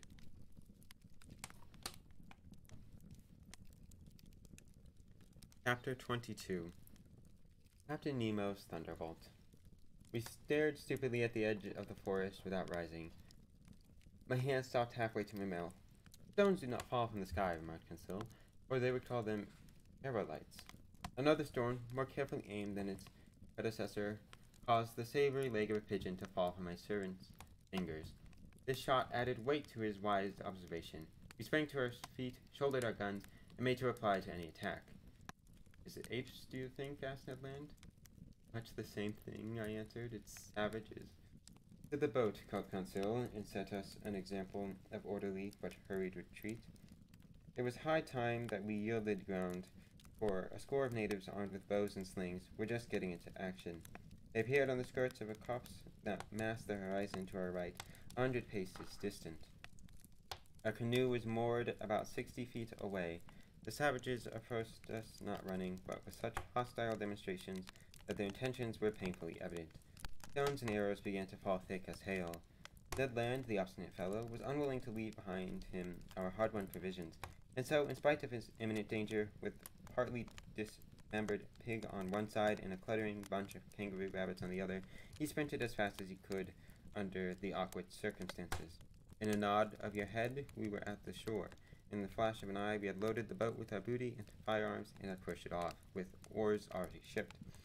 We had not gone two cable lengths when a hundred savages, more or less, had entered the water up to their waists. The howling and gesticulating were worth going miles to witness. I watched as I sat at the rudder in the stern of our boat to see whether this amazing apparition would attract some of the crew of the Nautilus up to the platform. But no, the enormous machine lying placidly off at a distance was absolutely undisturbed. Twenty minutes later, we were ourselves on board. The panels were open, and so, waiting only to make the boat fast to its moorings, we went down into the submarine. From the drawing room came the sounds of chords. Someone was at the piano organ. It was Captain Nemo, bending forward over the keyboard of the instrument, and caught in a musical ecstasy. Captain! I cried the moment I became aware of him. Evidently he did not hear me, for he made no response. He did not look up, although I fear the noise of my arrival was greater than I had any notion of its being. Captain, I said again, this time more softly, but touching his hand. He shuddered at my contact with him, and then he turned around and said quite calmly, Ah, it is you, Professor. Well, how did the hunting go? Did you get in any botanizing worthwhile? Yes, Captain, but unfortunately we rooted out a troop of bipeds whose nearness distresses me. What species of bipeds have you unearthed? Savages, surely. Cannibals, presumably. Savages? he echoed ironically. Real wild men, were they? Persons who have as yet not enjoyed the manifold advantages of our modern culture and education? Yes, just that. Why are you so astonished, Mr. Aronnax, at meeting savages when you set foot on a strange island? Where in all the earth are there not savages? And do you for a moment suppose them worse than any other men, these fellows that you call savages? But you see, sir, how many of their wretched beings did you count? A hundred at least. The commander placed his fingers back on the organ stops. His polite attention to my words was already waning. Rest assured, Professor, he said idly, that if all the natives of Papua were assembled on the shore on the shore, the Nautilus would not have a thing to fear from their flimsy assaults. The strange man's fingers were now running over the clavier of the beautiful instrument, I observed with interest that he touched only the black keys, which gave to his melodies an eerie Scotch character. In a moment he had quite forgotten my presence, and was again buried in a reverie that I had not the heart to disturb. So I stole up again to the platform. Meanwhile, the swift night of the subtropics had fallen, for in this low latitude the sun sets rapidly and without an intervening twilight. I could see the outlines of the island, but indistinctly. Still, the numerous fires lighted on the beach bore mute witness that the savages had no intention of withdrawing from it. I remained in my quiet nook for several hours, sometimes thinking of the natives, but without any particular dread of them, for the calm confidence of the commander in his ship's invulnerability was contagious. But mostly I forgot the Papuans as I admired the splendors of the southern night. My memories harked back to France, as if in the train of those zodiacal stars which would be shining there in a few hours' time.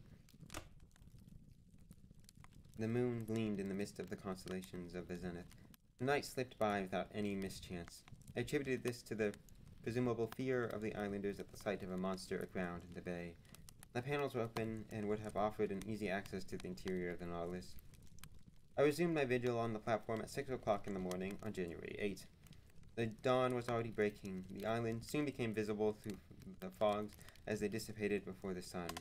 First the shore and then the summits. Oh, the natives were there to the tune of five or six hundred, several times more numerous than on the evening before. A group of them, profiting by the low tide, had climbed upon the coral and were entrenched less than two cable lengths from where I sat. I could distinguish them easily. They were typical Papuans, large-figured and of strong race, men with large, high foreheads and white teeth. The woolly hair of a pronounced reddish tinge contrasted sharply with their black, glistening bodies, which resembled the frames of Nubians. Chaplets of bones, whose bones, hung from the lobes of their ears, which were slashed and distended. Most of these savages were stark naked. Among their number, however, I described several women who were clad from the hip to the knee in a sort of wide skirt that was made of grasses and suspended from a waistband of vegetable material. Some of the headmen or chiefs had adorned their necks with crescents and collars of glass beads, and nearly all were armed with bows and arrows and shields, carrying on their shoulders a net which contained the round stones that they cast from slings with great skill. Now one of these chiefs, rather near to the Nautilus, made bold to study it attentively. It was perhaps a motto of high rank, for his body was draped in a mat of banana leaves, notched around the edge and set off with brilliant colors. I could easily have knocked this native over, he was so close to me, but I thought it was wiser to await the opening of really hostile demonstrations. Not only is prudence the better part of valor, but in parleys between Europeans and savages, it is fitting for the former to ward off sharply, not to attack. During low tide, the natives kept wandering about near the submersible, but offered us no trouble. I frequently heard them utter the word "asai," and by their gestures I understood that they invited me to go to land, an invitation which I declined. So it came to pass that on the third day of our stay near Gilboa, the canoe did not take us away from our ship to the vast displeasure of Ned Land, who wished to complete his store of provender. This adroit Canadian therefore found time hanging heavily on his hands and employed the unexpected leisure in preparing the viands and meat that we had brought off from the island. As for the savages, about eleven o'clock in the morning, as soon as the coral ridges began to disappear beneath the rising tide, they returned to shore. But by this hour I noticed that their numbers had been considerably swollen by fresh ascensions. The late arrivals had probably come from neighboring islands, or even from Papua itself. Strange, but I had not seen a single native canoe. Having no better way in which to occupy my time, I now decided to drag these limpid waters, under which I noticed a profusion of shells, zoophytes, and myriad plants. My determination was strengthened by the fact that this was the last day that our vessel would pass in these parts, in case it really floated off the reef on the morrow, according to Captain Nemo's prophecy. I therefore summoned Conseil to my aid, and he procured for me a small light drag, which, much like those used in oystery fishery, we went to work with what zeal we could muster, and for a space of two hours we it went to work. Oh wait, we angled unceasingly without bringing to the surface a single rarity. The drag would choke itself full of Midas ears, harps, malaines, and particularly beautiful hammers. And we also brought to light some Holothurians, pearl oysters, and dozen little turtles that were reserved for the pantry downstairs. But just when I least expected it, I put my hand upon a wonder, I might even say a natural deformity, very merely met with. Conseil was pulling in his draught of di divers ordinary shells, when all at once he saw me thrust my arm quickly into the net to draw forth a shell. And at the same time, I uttered a conchological squeal that is to say, most piercing cry that human throat can utter. What's the matter, sir? he asked in great surprise. Did you get bitten, sir? No, my boy. My scream was one of undiluted amazement, although I would willingly have sacrificed a finger for the privilege of making such a discovery. But I see nothing wonderful here, sir. Look at this shell, I triumphed as I held an object up for his inspection. But, Mr. Aronnax, Conseil continued with a puzzled expression of countenance, you're holding simply an olive porphyry genus olive, order of Actinibranchidae, class of gasteropods, subclass of mollusk, mollusca. Correct, dear fellow. You have ticked off everything but the matter most important. The shell, instead of being rolled from right to left, turns from left to right. Ooh, is it possible? It is more than possible it is so. With rare exception, shells are all right-handed, and when by the billionth chance their spiral is left, amateurs are willing to exchange them for their weight in gold. This fact explains why Conseil and I were absorbed in the contemplation of our earthly treasure to the exclusion of all else. I was just making up my mind to enrich the Paris Museum with it when a thrice accursed stone thrown by a native struck against the precious object in Conseil's hand and smashed it. I uttered a cry of despair. Conseil snatched up his gun and aimed at the savages who was poising his sling at ten paces from him. I would have stopped my servant, but before I could intervene, his shot took effect and broke the bracelet of amulets which encircled the arm of the savage. Stop it, my boy, I cried. But my heavens, sir, did you not notice that the cannibal was first to strike? No shell is worth the life of a man, I said sternly. The scoundrel, Conseil muttered. I should rather have had him splintered my shoulder. And the worthy fellow was in earnest too, but I was not of his way of thinking. By now, however, I noticed that the situation of savages had greatly changed during the last few moments where we had been blind. A score of war canoes encircled the Nautilus, scooped out of the trunk of a tree, long, narrow, and well adapted for speed. These boats were balanced by means of a long bamboo pole or outrigger, which floated on the water. They were managed by skillful, half-naked paddlers, and I watched the advance with a certain trepidation. It's perfectly evident that these Papuans had already had dealings with Europeans and knew their ships, but this long iron cylinder anchored out in their bay, what could they think of it? Fearful things, perhaps, for at first they kept at a respectful distance from it, but little by little they took courage as they saw it stationary and defenseless, and they sought to familiarize themselves with it. Now, this familiarity was precisely the one thing I deemed it necessary to avoid. Our firearms, which are noiseless, would produce only a moderate effect on the minds of the savages, which have small esteem for anything that does not roar and bluster. The thunderbolt, robbed of its reverberations, would frighten man but little, though of course all the danger lies in the lightning and not in the noise. While I was hesitating what to do, the canoes, at a given signal, approached the Nautilus, and a shower of missiles alighted her, on her. I ran down to the loon, but found it deserted. Because of the pressing emergency, I mustered up my courage and knocked on the door opening into the captain's room. Come in, was the answer. I entered and discovered that Captain Nemo was deep in algebraic calculations of x and other quantities. I fear I'm disturbing you, sir, I said, with all the politeness I could summon. That is true, Mr. Aronnax, the commander replied calmly, but I fear you have I feel you have great reasons for it, wishing to see me. I could wish them less grave, sir. Even at this moment, natives are surrounding us in the canoes. In a few minutes, we shall certainly be overwhelmed by many hundreds of savages. Oh, said Captain Nemo placidly. They have come out in their canoes? Yes, sir. Well, Professor, then we must see to closing the hatches. Exactly, and I came to say to you... Oh, nothing could be more simple, said my calm host. He pressed an electric button which transmitted an order to the ship's crew. And now there is no further cause for worry, he continued after a moment's pause. Everything is all done. The pinnace is in place, the hatch is closed. You do not fear, I hope, that these gentlemen of the wilds can stave in iron walls upon which the cannonballs of Abraham Lincoln had no effect?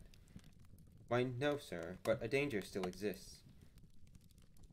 I wonder. Tomorrow, at just about this time, you'll have to open the panels of the ship to renew the air. Now, if the Papuans should happen to be perched on, the on the platform at that psychological moment, I don't see how you can prevent their entering. You think they'll board us, then? I'm morally certain of it. Well, sir, all I have to say is, let them come. The sooner the better. Why should we hinder them from doing what they want to? In a way, I'm sorry for these poor Papuans, and I don't want my unexpected visit at their island to cost the life of a single one of the wretches. What more was there for me to say? I was on the point of departure when Captain Nemo asked me to remain and have a chat with him. He exhibited quite an interest in our excursions ashore, questioned me about our hunting, did not appear to understand the craving for fresh meat that had seized hold of the Canadian. Thereafter, the conversation turned to other subjects. Without being exactly communicative, my host evinced an unusual amiability. Among a dozen other topics, we came to speak of the situation of the Nautilus, which had run aground at almost the identical spot where Dumont d'Urville had his hairbreadth escape. Apropos of this, Captain, the captain said, this d'Urville was one of your really great sailors, a most intelligent navigator, the Captain Cook of France. What an ironical end was his did you know that this unfortunate man of science, after having braved the coral reefs of Oceania and the cannibals of the Pacific, perished miserably in a railroad accident? What do you suppose was uppermost in this man's mind during the last moments of his life?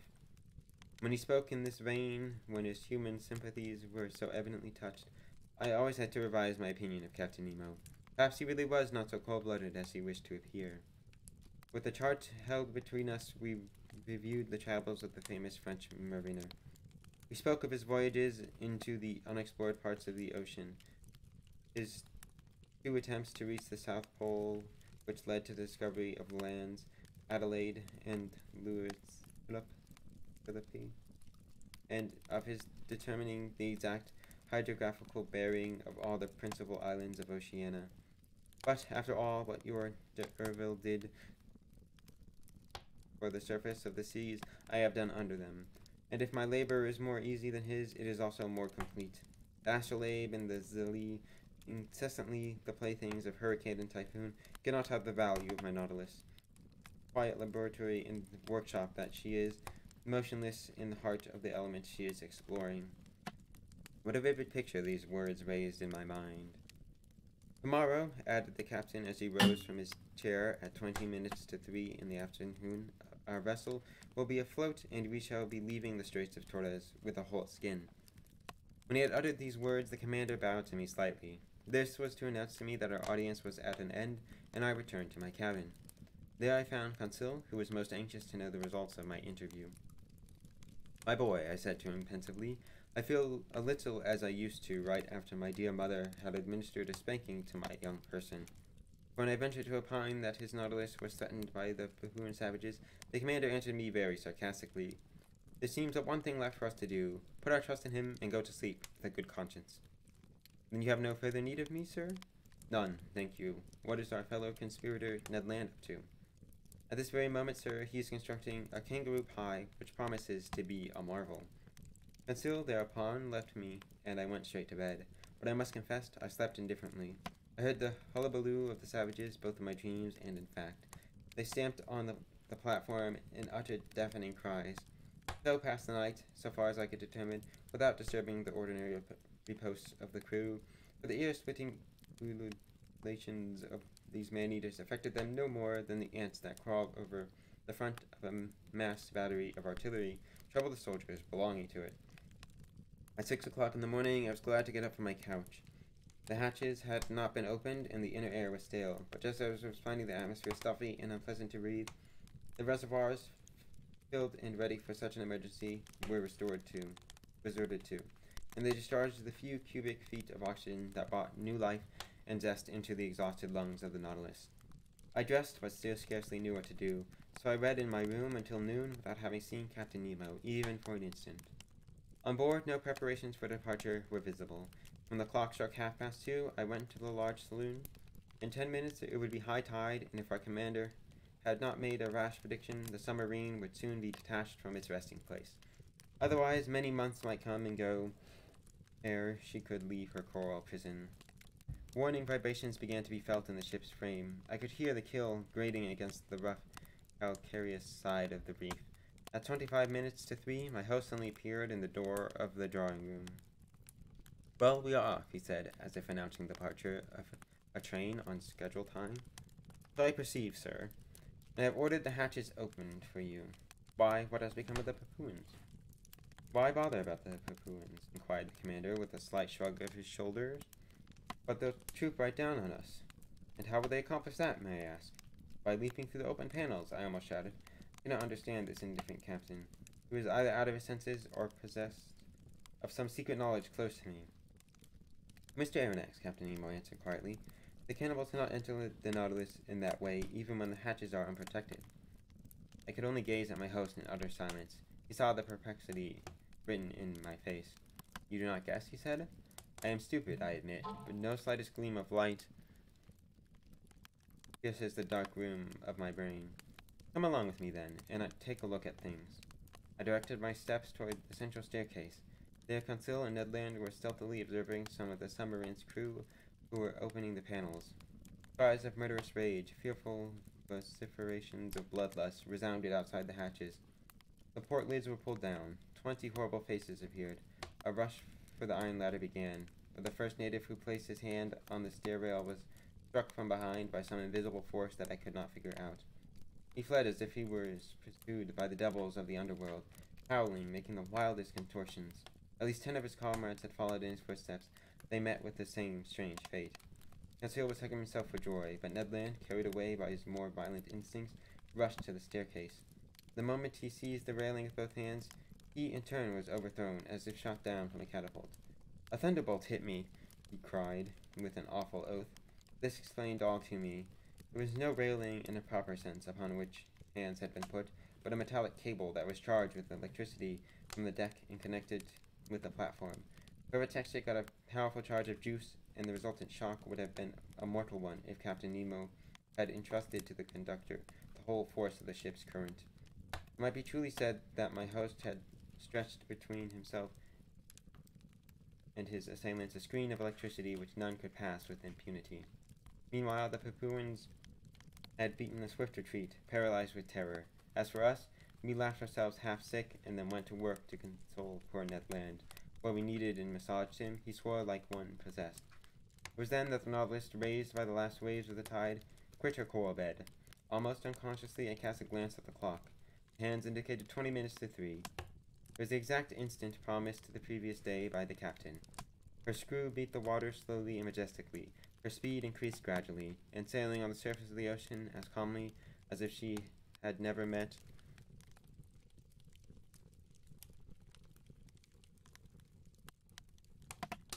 as if she had never met with a disagreeable experience in all her days, the submarine quit safe and sound the dangerous passes of the Torres Straits.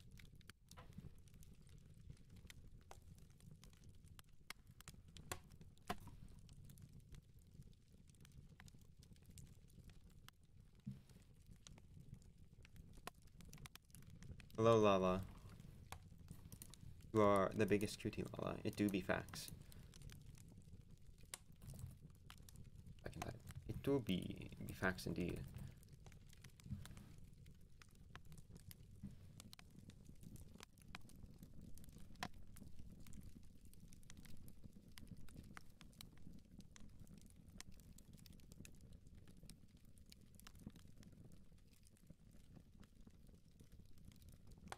Of the Super Cutie? No, no, no. That was lies and slander, as indicated by uh, Stream Elements. Stream Elements knows what's up. I love stories. How I'll catch up with the pod. Uh, yes, I'll remember to publish that. Yes, I'll do that. This is why I'm recording it. Hopefully, it shouldn't take too long. I say, as it's like an hour. Also, I don't know when daylight savings happens for you, but it's happened in America, so times may become confusing.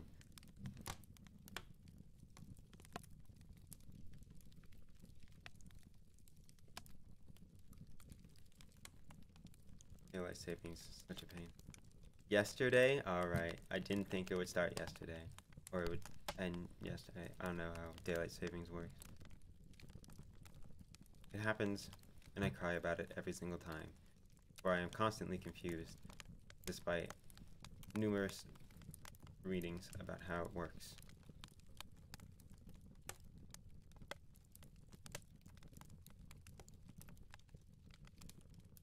The Americans doing daylight savings, I know, it's so silly. I wish it were gone.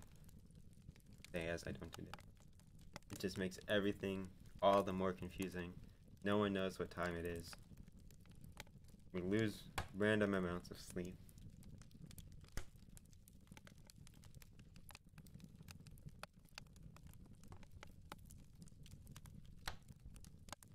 And there's no point. Uh, yes. We're almost done. I think we got two more chapters. This is what? Yeah, this is 23. Gonna end on 20 six chapters. Chapters do seem longer, I feel, though. Which I guess makes sense. Oh dang, it switches. Oh, interesting. But yes, I drink water, and everyone else should drink water too, because hydration is important.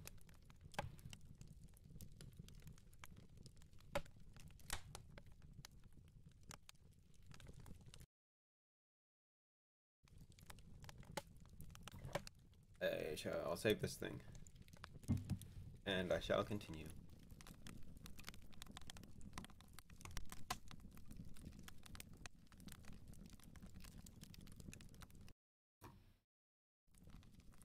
Chapter 23 Confinement. Next day, January 10th, the Nautilus continued her passage between the two seas, but with what a difference. She was not moving at so remarkable a speed that I could not estimate it at anything less than 35 miles an hour. The rapidity of her screw was such that I could neither separate nor count its revolutions. I reflected upon the marvelous qualities of the agent that drove our vessel. It afforded her motion, light, and heat. It transformed her into an ark of safety and protected her from assault. No profane hand might touch her without being smitten by the lightning. My admiration for this agent was unbounded. It extended to the engineer who had harnessed this force to his purposes. Our course was directed toward the west. On the 11th of January, we doubled Cape Wessel, which is situated 135 degrees longitude and 10 degrees north latitude. This promontory forms uh, the eastern point of the Gulf of Carpentaria. The reefs were still numerous, but now they were more regular in formation and marked on the chart with extreme precision. The submersible easily avoided the breakers of money, which lay on the port side. Nor did she have the least trouble with the Victoria Reefs, which lay to starboard at 130 degrees longitude and on the 10th parallel, directly on our course. On the 13th of January, Captain Nemo arrived in the Sea of Timor and recognized the island which bears the same name in 122 degrees longitude. From this point, the direction of the Nautilus shifted to the southwest. Her head was set for the Indian Ocean. Where would the whim of our commander transport us next? Futile as speculations on this point might be, when I was unacquainted with any ruling purpose in his actions, I yet could not dismiss them from my mind. Would he return to the coasts of Asia? Would he approach the shores of Europe? Both of these seemed improbable, conjectures in connection with a man who fled from inhabited continents. Would he then descend to the south? Was he going to double the Cape of Good Hope, then Cape Horn, and finally penetrate to the Antarctic Pole? And in the end, would he return to the Pacific, where his vessel could sail freely and independently? Time alone would show. Meanwhile, we skirted the shoals of Cartier, Hibernia, Seringapatam, and Scott. These were the last bulwarks of the solid element against the encroachments of its liquid counterpart, and on January 14th we lost sight of land altogether. The speed of the Nautilus was then considerably abated, and her course of action became quite irregular. She sometimes swam amidst the depths of the sea, at others floated on the surface. It was during this part of the voyage that the commander made interesting experiments on the varied temperature of different levels of the sea bottom. Ordinarily, such tests are made with complicated instruments, and the results are fairly doubtful. They use the thermometrical sounding leads, the glasses of which frequently break because of the pressure of the water, or they resort to an apparatus which is based on the differential resistance of metals to electric currents. And calculations so arrived at cannot be trusted. The Captain Nemo himself descended to test the temperature and the depths of the sea, and coming as he did in direct communication with the levels to be measured, he secured immediately and accurately the degrees sought. Either by overloading her reservoir tanks or by sinking obliquely by means of her inclined planes, the Nautilus was thus able to attain successfully depths of 3, 4, 5, 7, 9, and 10,000 yards. The definite result of his observation was that the ocean maintained an average temperature of 4.5 degrees centigrade in all latitudes at a depth of 5,000 fathoms. On January 16, our submarine seemed to be calmed only a few yards beneath the surface of the of the waves.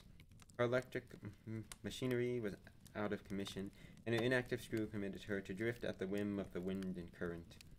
I imagine the crew might be occupied with interior repairs made necessary by the strain to which the engines had been put. Then it was that my companions and I witnessed a curious spectacle. The panels of the saloon were open. A dim obscurity prevailed in the midst of the sea, because the beacon light of the submarine was not in operation. It was interesting to observe the sea under such conditions. The largest fish appearing to the eye, no more than scarcely defined shadows. Suddenly we found ourselves transported into full light. I thought at first, of course, that the beacon had been lighted and was again casting its electric radiance into the waters.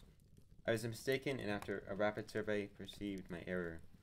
The Nautilus was floating in the midst of a phosphorescent mass, which, because of the gloom elsewhere prevalent, became quite dazzling. The bright glow was produced by myriads of luminous animalculae, whose brilliance was somehow increased as they glided over the hull of the vessel. I was amazed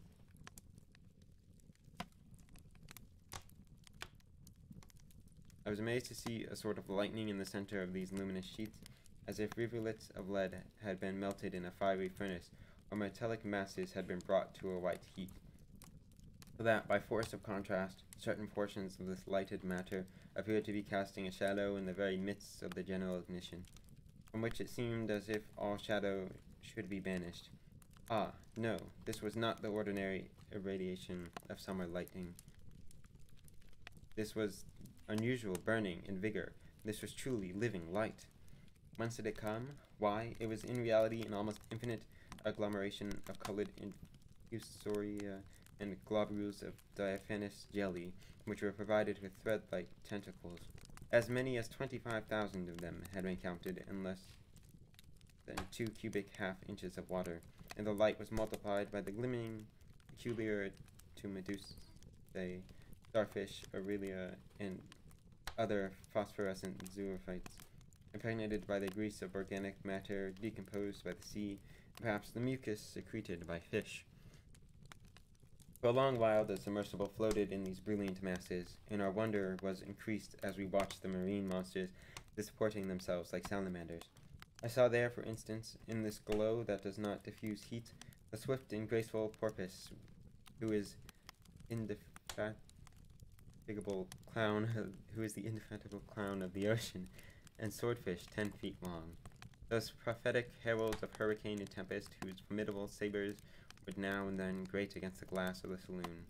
Then appeared smaller fish, the variegated balistae, the leaping mackerel, wolf thorntails, and a hundred other sorts that struck the luminous element through which they swam. The dazzling scene was enchanting. Very likely some atmospheric condition of the unusual kind increased the intensity of this phenomenal brilliance. Perhaps some storm agitated the upper surface of the waves, but at the depths in which we lay the Nautilus was unmoving by its fury, and reposed peacefully in the still water. Thus we journeyed on from one new marvel to another. The halcyon days glided swiftly by, and I scarcely took account of them.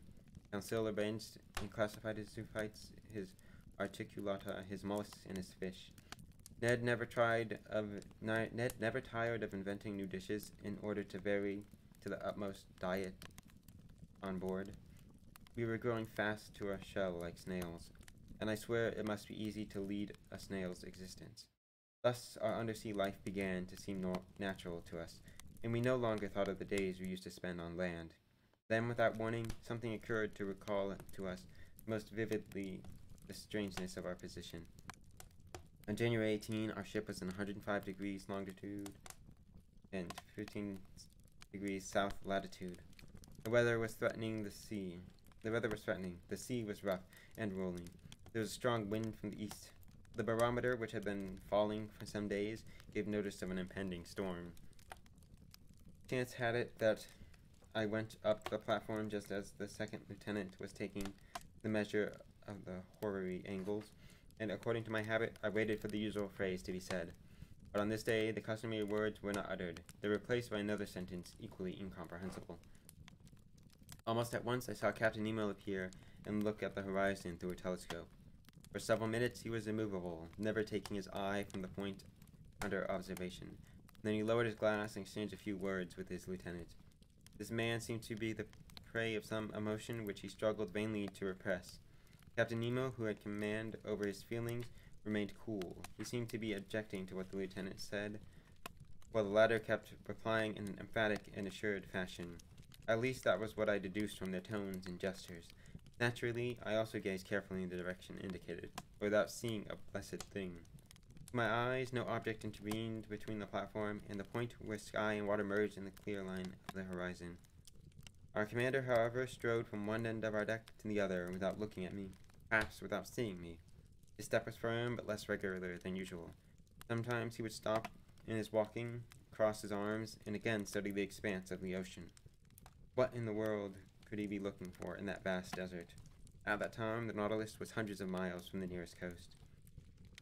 The lieutenant had grasped the telescope and was now examining the horizon minutely. He walked rapidly about and he stood still. He stamped his feet nervously now and then, without realizing what he was doing. Altogether, he exhibited much more agitation than his superior officer did. At any rate, this mystery, whatever it might be, would necessarily be explained, and before long, for consequent to a command of Captain Nemo's, the engine had vastly increased its propelling power and was making the screw hum. The second officer touched the commander on the shoulder to attract his attention. The latter halted abruptly and directed his gaze to the point indicated by his companion. He looked long. All this mummery was getting to be too much for me. I rushed down to the drawing room and secured the telescope that I was in the habit of using. It had an unparalleled set of lenses. Then I returned to the upper deck and leaned to steady myself on the cage of the watchlight that jutted out from the front of the platform. I controlled as best as I could the nervous shaking of my right hand and set myself to the task of examining the whole long line of sky and sea. My eye had scarcely adjusted itself to the end of the glass when the instrument was quickly and rudely snatched from my hands. I turned around. Captain Nemo stood before me, but I did not recognize him in his present guise. His face was as if transformed. His eyes regarded me with a sullen flash. His teeth were set sternly together. Every indication betrayed the violent emotion that pervaded his whole frame. Stiff body, clenched fist, head chucked down between his shoulders. He was immovable as marble, flint, adamant. My glass fell almost unnoticed from his hands and rolled to his feet. Was I the object of his anger? Did this incomprehensible being fancy that I discovered his long hidden secret? No, quite evidently not. It was not I who had provoked his convulsive passion. He was not looking at me. His eye was steadily fixed upon the impenetrable point of the horizon. At last, Captain Nemo recovered himself. His agitation visibly subsided. He addressed some words in the foreign language to his lieutenant that returned to me. Mr. Aronnax, he said in a rather imperious tone, I asked you now to respect one of the conditions which bind you to me. Which one of them, my host? You must be at once confined to your cabin, together with your companions, until I see fit to release you. This decision rests with you, sir, according to our agreement. But I may, but may I ask you one question? Not one. I demand instant obedience. There was no re resisting this injunction. It would have been useless to have attempted delay, so like a whipped child, I went down to the room occupied by Ned Land and Conseil and told them of the unexpected turn of affairs. You may judge how my communication was received by the Canadian. Words fail me to convey the picture, but there was no time for arguing. Four of the crew were already at the door, bent upon our immediate confinement. They led us in silence to the cell in which we had passed our first night on board the Nautilus. The harpooner was just making up his mind to a demonstration of force when the door was slammed in his face and locked. I'd rather like to know the meaning of this, Conseil confided to me with his habitual phlegm. I told my comrades what had passed. They were as much puzzled as I by the mystery of the thing, and equally at a loss as to how to account for it. Soon after our imprisonment, I grew absorbed in my own reflection. The strange look of fear on the face of our commander took precedence of my other memories as I reviewed the scene on the platform. It was so little in consonance with my whole previ previous idea of the man. My thoughts were brusquely interrupted by Ned Land. Hello, hello. Breakfast is now served. And as sure as Eve ate apples, the tables were set and ready for us. Captain Nemo, remarkable man, had forgotten nothing. At a flash, he must have conveyed three orders to lock us up, to feed us, and to send the Nautilus full speed ahead. Will you listen to a suggestion from me, sir? inquired Conseil mildly. Say whatever is on your mind, my lad. Let's eat breakfast, sir. You never know, sir, what is going to happen, and I am brave as a lion when I'm fed. You are quite hopelessly sensible, Conseil. Dingo, said Ned Land, pulling a long face. There's nothing here but the ordinary ship's bill of fare. No cutlet, no roast, no bread, pie, pudding, no vegetable, no sauce. Fish, fish, fish. Neddy, Conseil demanded, what would you have said if there had been no meal at all? There was no answer to this argument. The harpooner ceased his recriminations and set to work and did not miss a bite. The repast was eaten in silence. There was so much to say that we said nothing. Scarcely had we finished eating when the luminous globe that lighted our prison cell was extinguished. Ned Land was soon asleep, quite audibly so. What really astonished me was that Conseil followed his example, not even omitting to snore like a good fellow. I was wondering what could have caused such irresistible drowsiness when I felt my own brain becoming dull and stupefied. A painful suspicion entered my mind. A sleeping powder had been administered to us in the food that we had just taken. Apparently, our imprisonment alone was not sufficient to conceal the captain's plan from us. Sleep was also necessary. I, I fought against the influence of the, the soporific medicine. The swaying of the sea, which had caused a slight rolling motion in the Nautilus, had ceased. Did this mean that we had hunted the depths of the ocean? Had we returned to the quiet bottom of the waters? It was impossible for me to withstand my increasing drowsiness. My breath came more faintly and in gasps. I felt a mortal chill steal along my rigid and half-paralyzed limbs. My eyelids fell as if they had been capped with lead. I tried to open my eyes. No, a morbid sleep, full of hallucinations, nightmarish, bereft me of my senses. Then the visions must have disappeared, for I was suddenly left in a state of complete insensibility.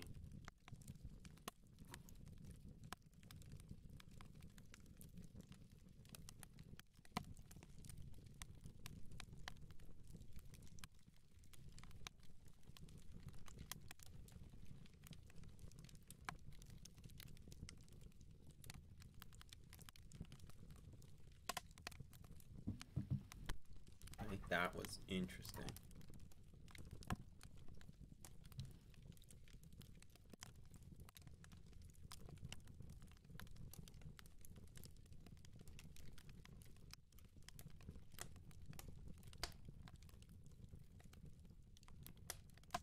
Alright. Time for the chapter of the night.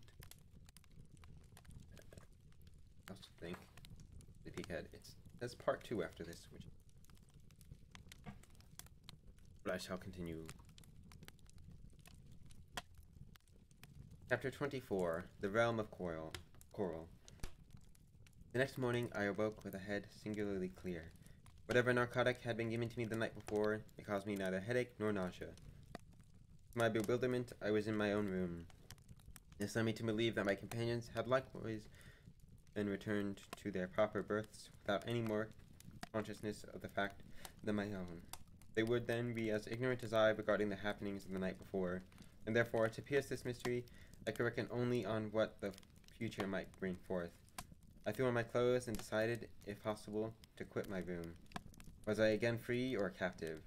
Quite free, apparently, for the door opened to my hand, and I went up the central stairs. The panels that gave on the upper deck were unlatched, and I stepped out on the platform. Conseil and Ned Land were waiting for me there. I questioned them. They could tell me nothing. Like myself, they had been buried in, in a sleep far beyond even passing consciousness of events. They had been amazed to wake up in their own bunks. As for the Nautilus, the old ship seemed as quiet and mysterious as ever. It was floating idly on the surface of an, un, of an even sea at a pace so moderate as hardly to indicate progress. Nothing seemed changed.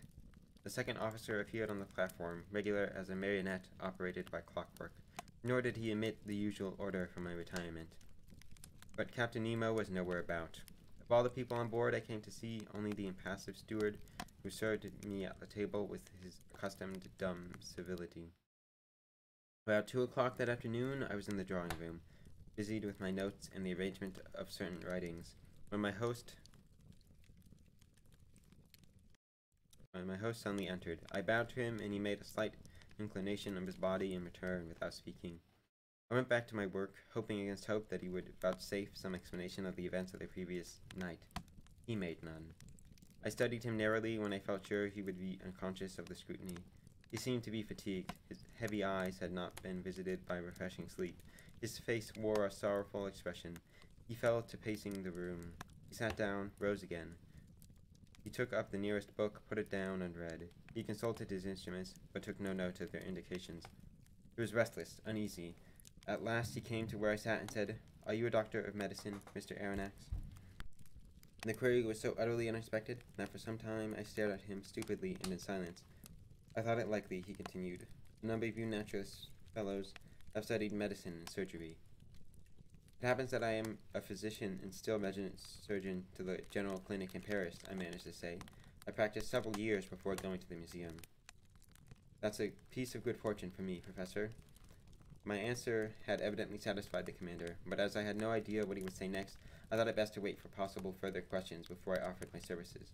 In short, Mr. Aronnax, He you be good enough to prescribe for one of my men? If I ascertain the nature of his illness, certainly. Will you please come with me now? I follow, sir. My heart began to beat strangely. I do not know why I sensed a direct connection between the injury to one of the ship's com company and the events of the day before.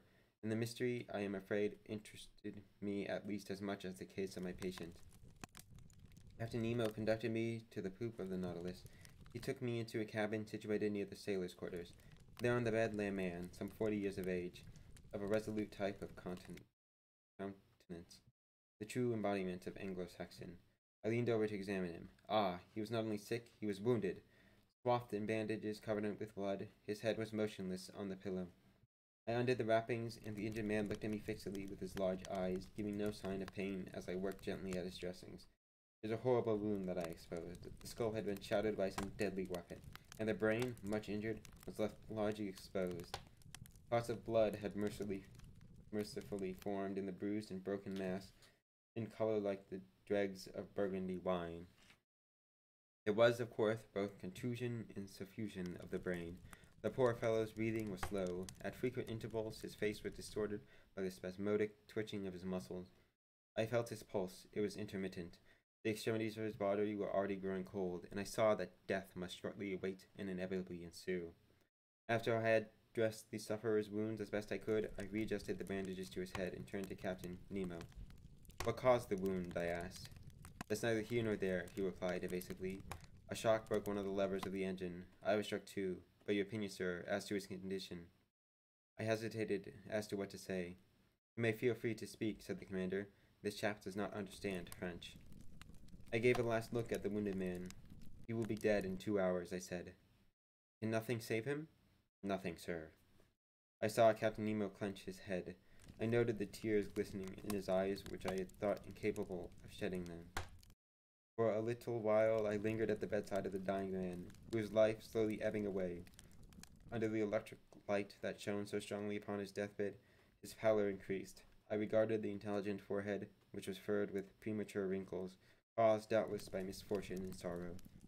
I would gladly have tried to learn the secret of his life from the final words that would escape his lips. You may go now, Mr. Aronnax, my host mildly suggested. I left him in the dying man's cabin and returned to my room, most unprofessionally affected by what I had seen. During the whole day that followed, I was haunted by uncomfortable suspicions, and at night I enjoyed but a fitful sleep. Amid my broken dreams, I imagined I heard distant sighing and something like a funeral hymn. Would they prayers for the dead, uttered in a language that no man might understand except he be initiated in its special usage? The next morning, early, I ascended to the bridge.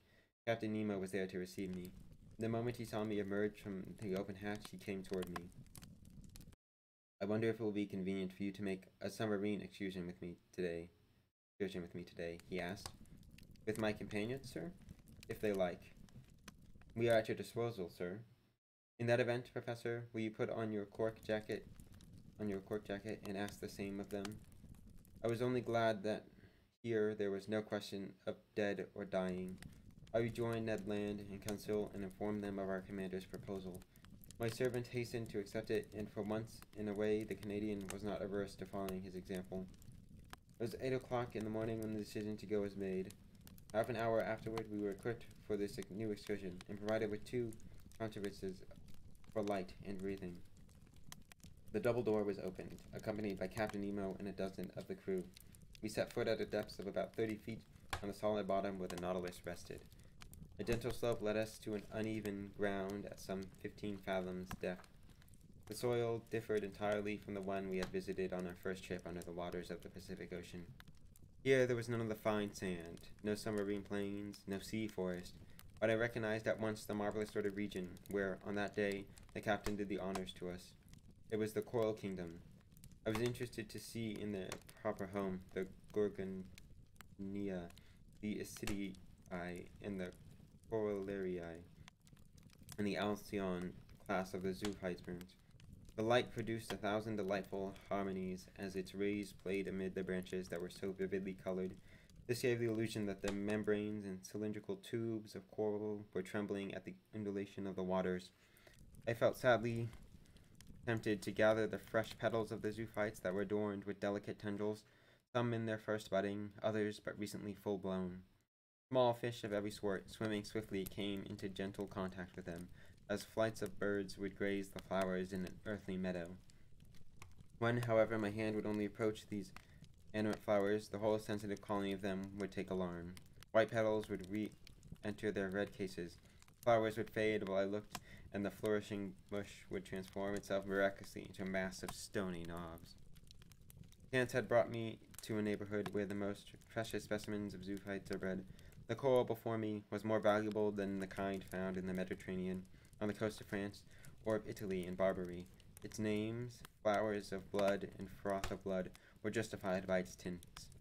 In the trade, coral is sold for $100 an ounce.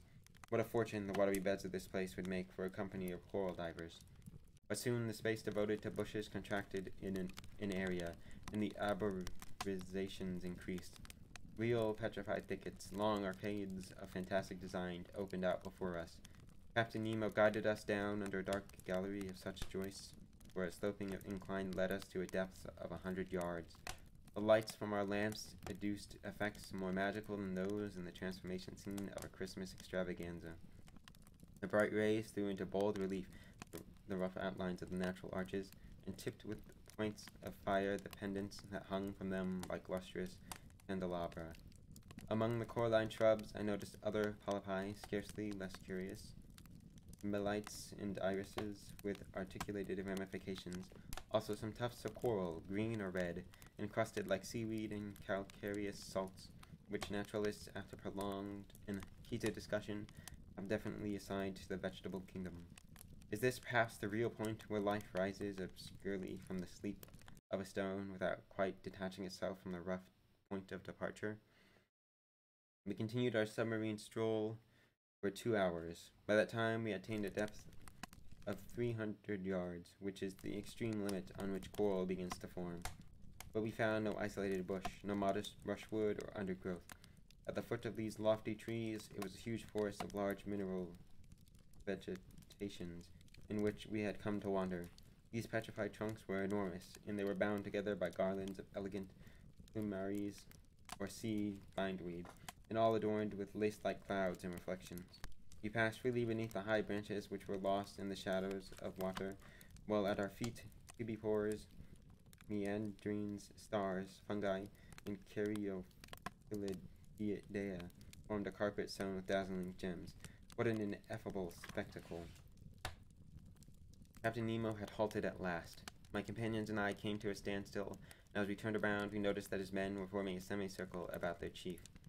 On closely inspection, I observed that four of the crew were carrying on their shoulders an object of oblong shape. We were occupying at this moment the center of a vast glade, shut in on every hand by the lofty foliage of the undersea forest.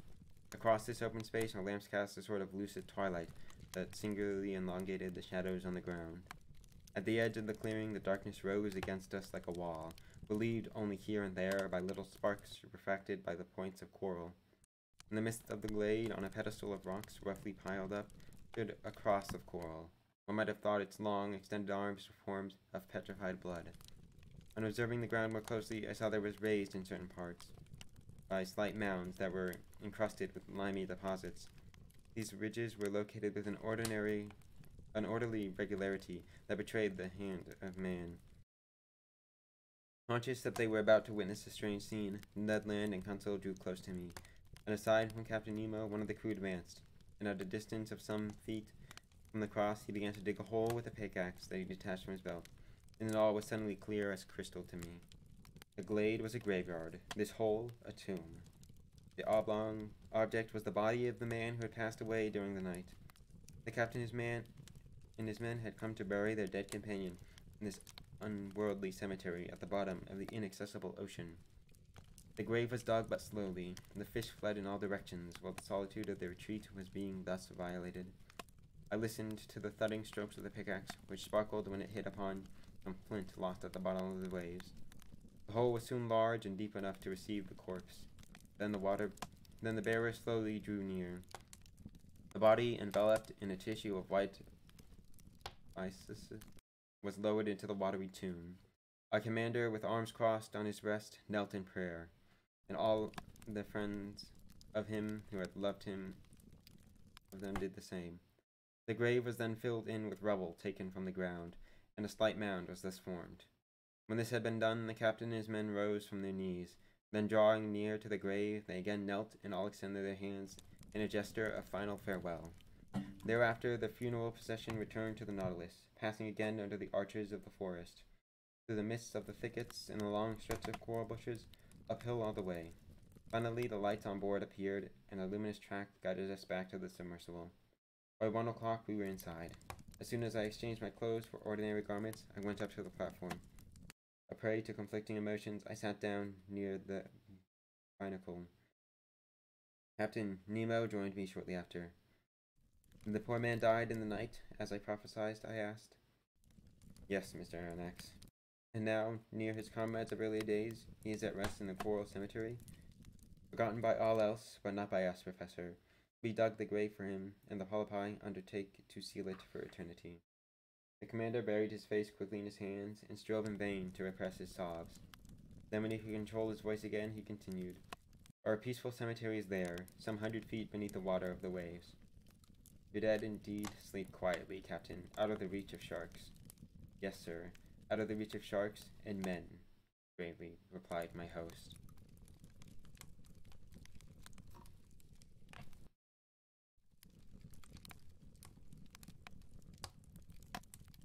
That was kind of sad and kind of sudden.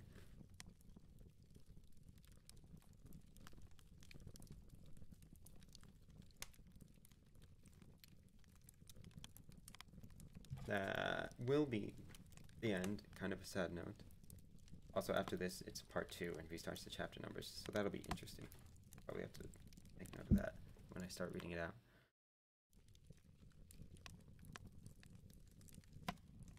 We said part one.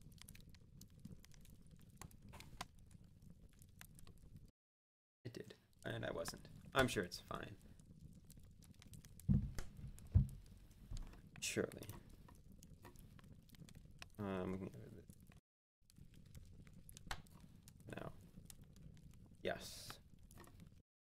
Yes, that is the end. Today's reading session. Another six chapters down. Slowly but surely getting through the book. Thank you for the story, Tom. Thank you for coming. Glad you were enjoying. Enjoying it a lot like in hindsight, it's maybe kind of strange that I'm reading a book on stream that I haven't read before, so I'm like discovering it as we go. But surely that makes it more fun. Yes, indeed. We shall run away. We shall scurry off and raid someone.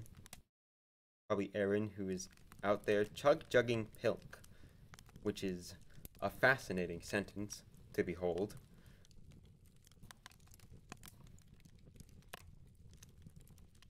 yes, thank you all for coming. Again, next week, I want to say same time. Not really same time. Daylight savings messes things up tremendously. We all hate daylight savings. All my homies hate daylight saving. Although Pilk, I don't know what it is. Too scared to find out. Uh, Pilk is just Pepsi and milk. Plus the acronym Pilk. I can't imagine it tastes good. But uh, you never know. I haven't tried it, so I can't say, but it probably doesn't. Interesting. Oh, interesting. Uh, yeah. Probably doesn't taste good. I don't know how it came about. Someone probably liked it. I think we can do this one. Yes. Wait, I have to type the commands. Raid raid two? Yes. We should go raid Aaron. Uh, typing out the command. The chug jugging milk drinker, which is a scary sentence. I will return next week at the same time relative to me.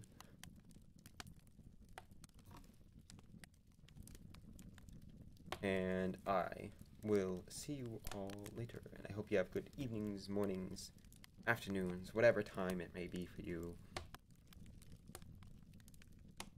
Uh, and yeah, that's it. Bye bye.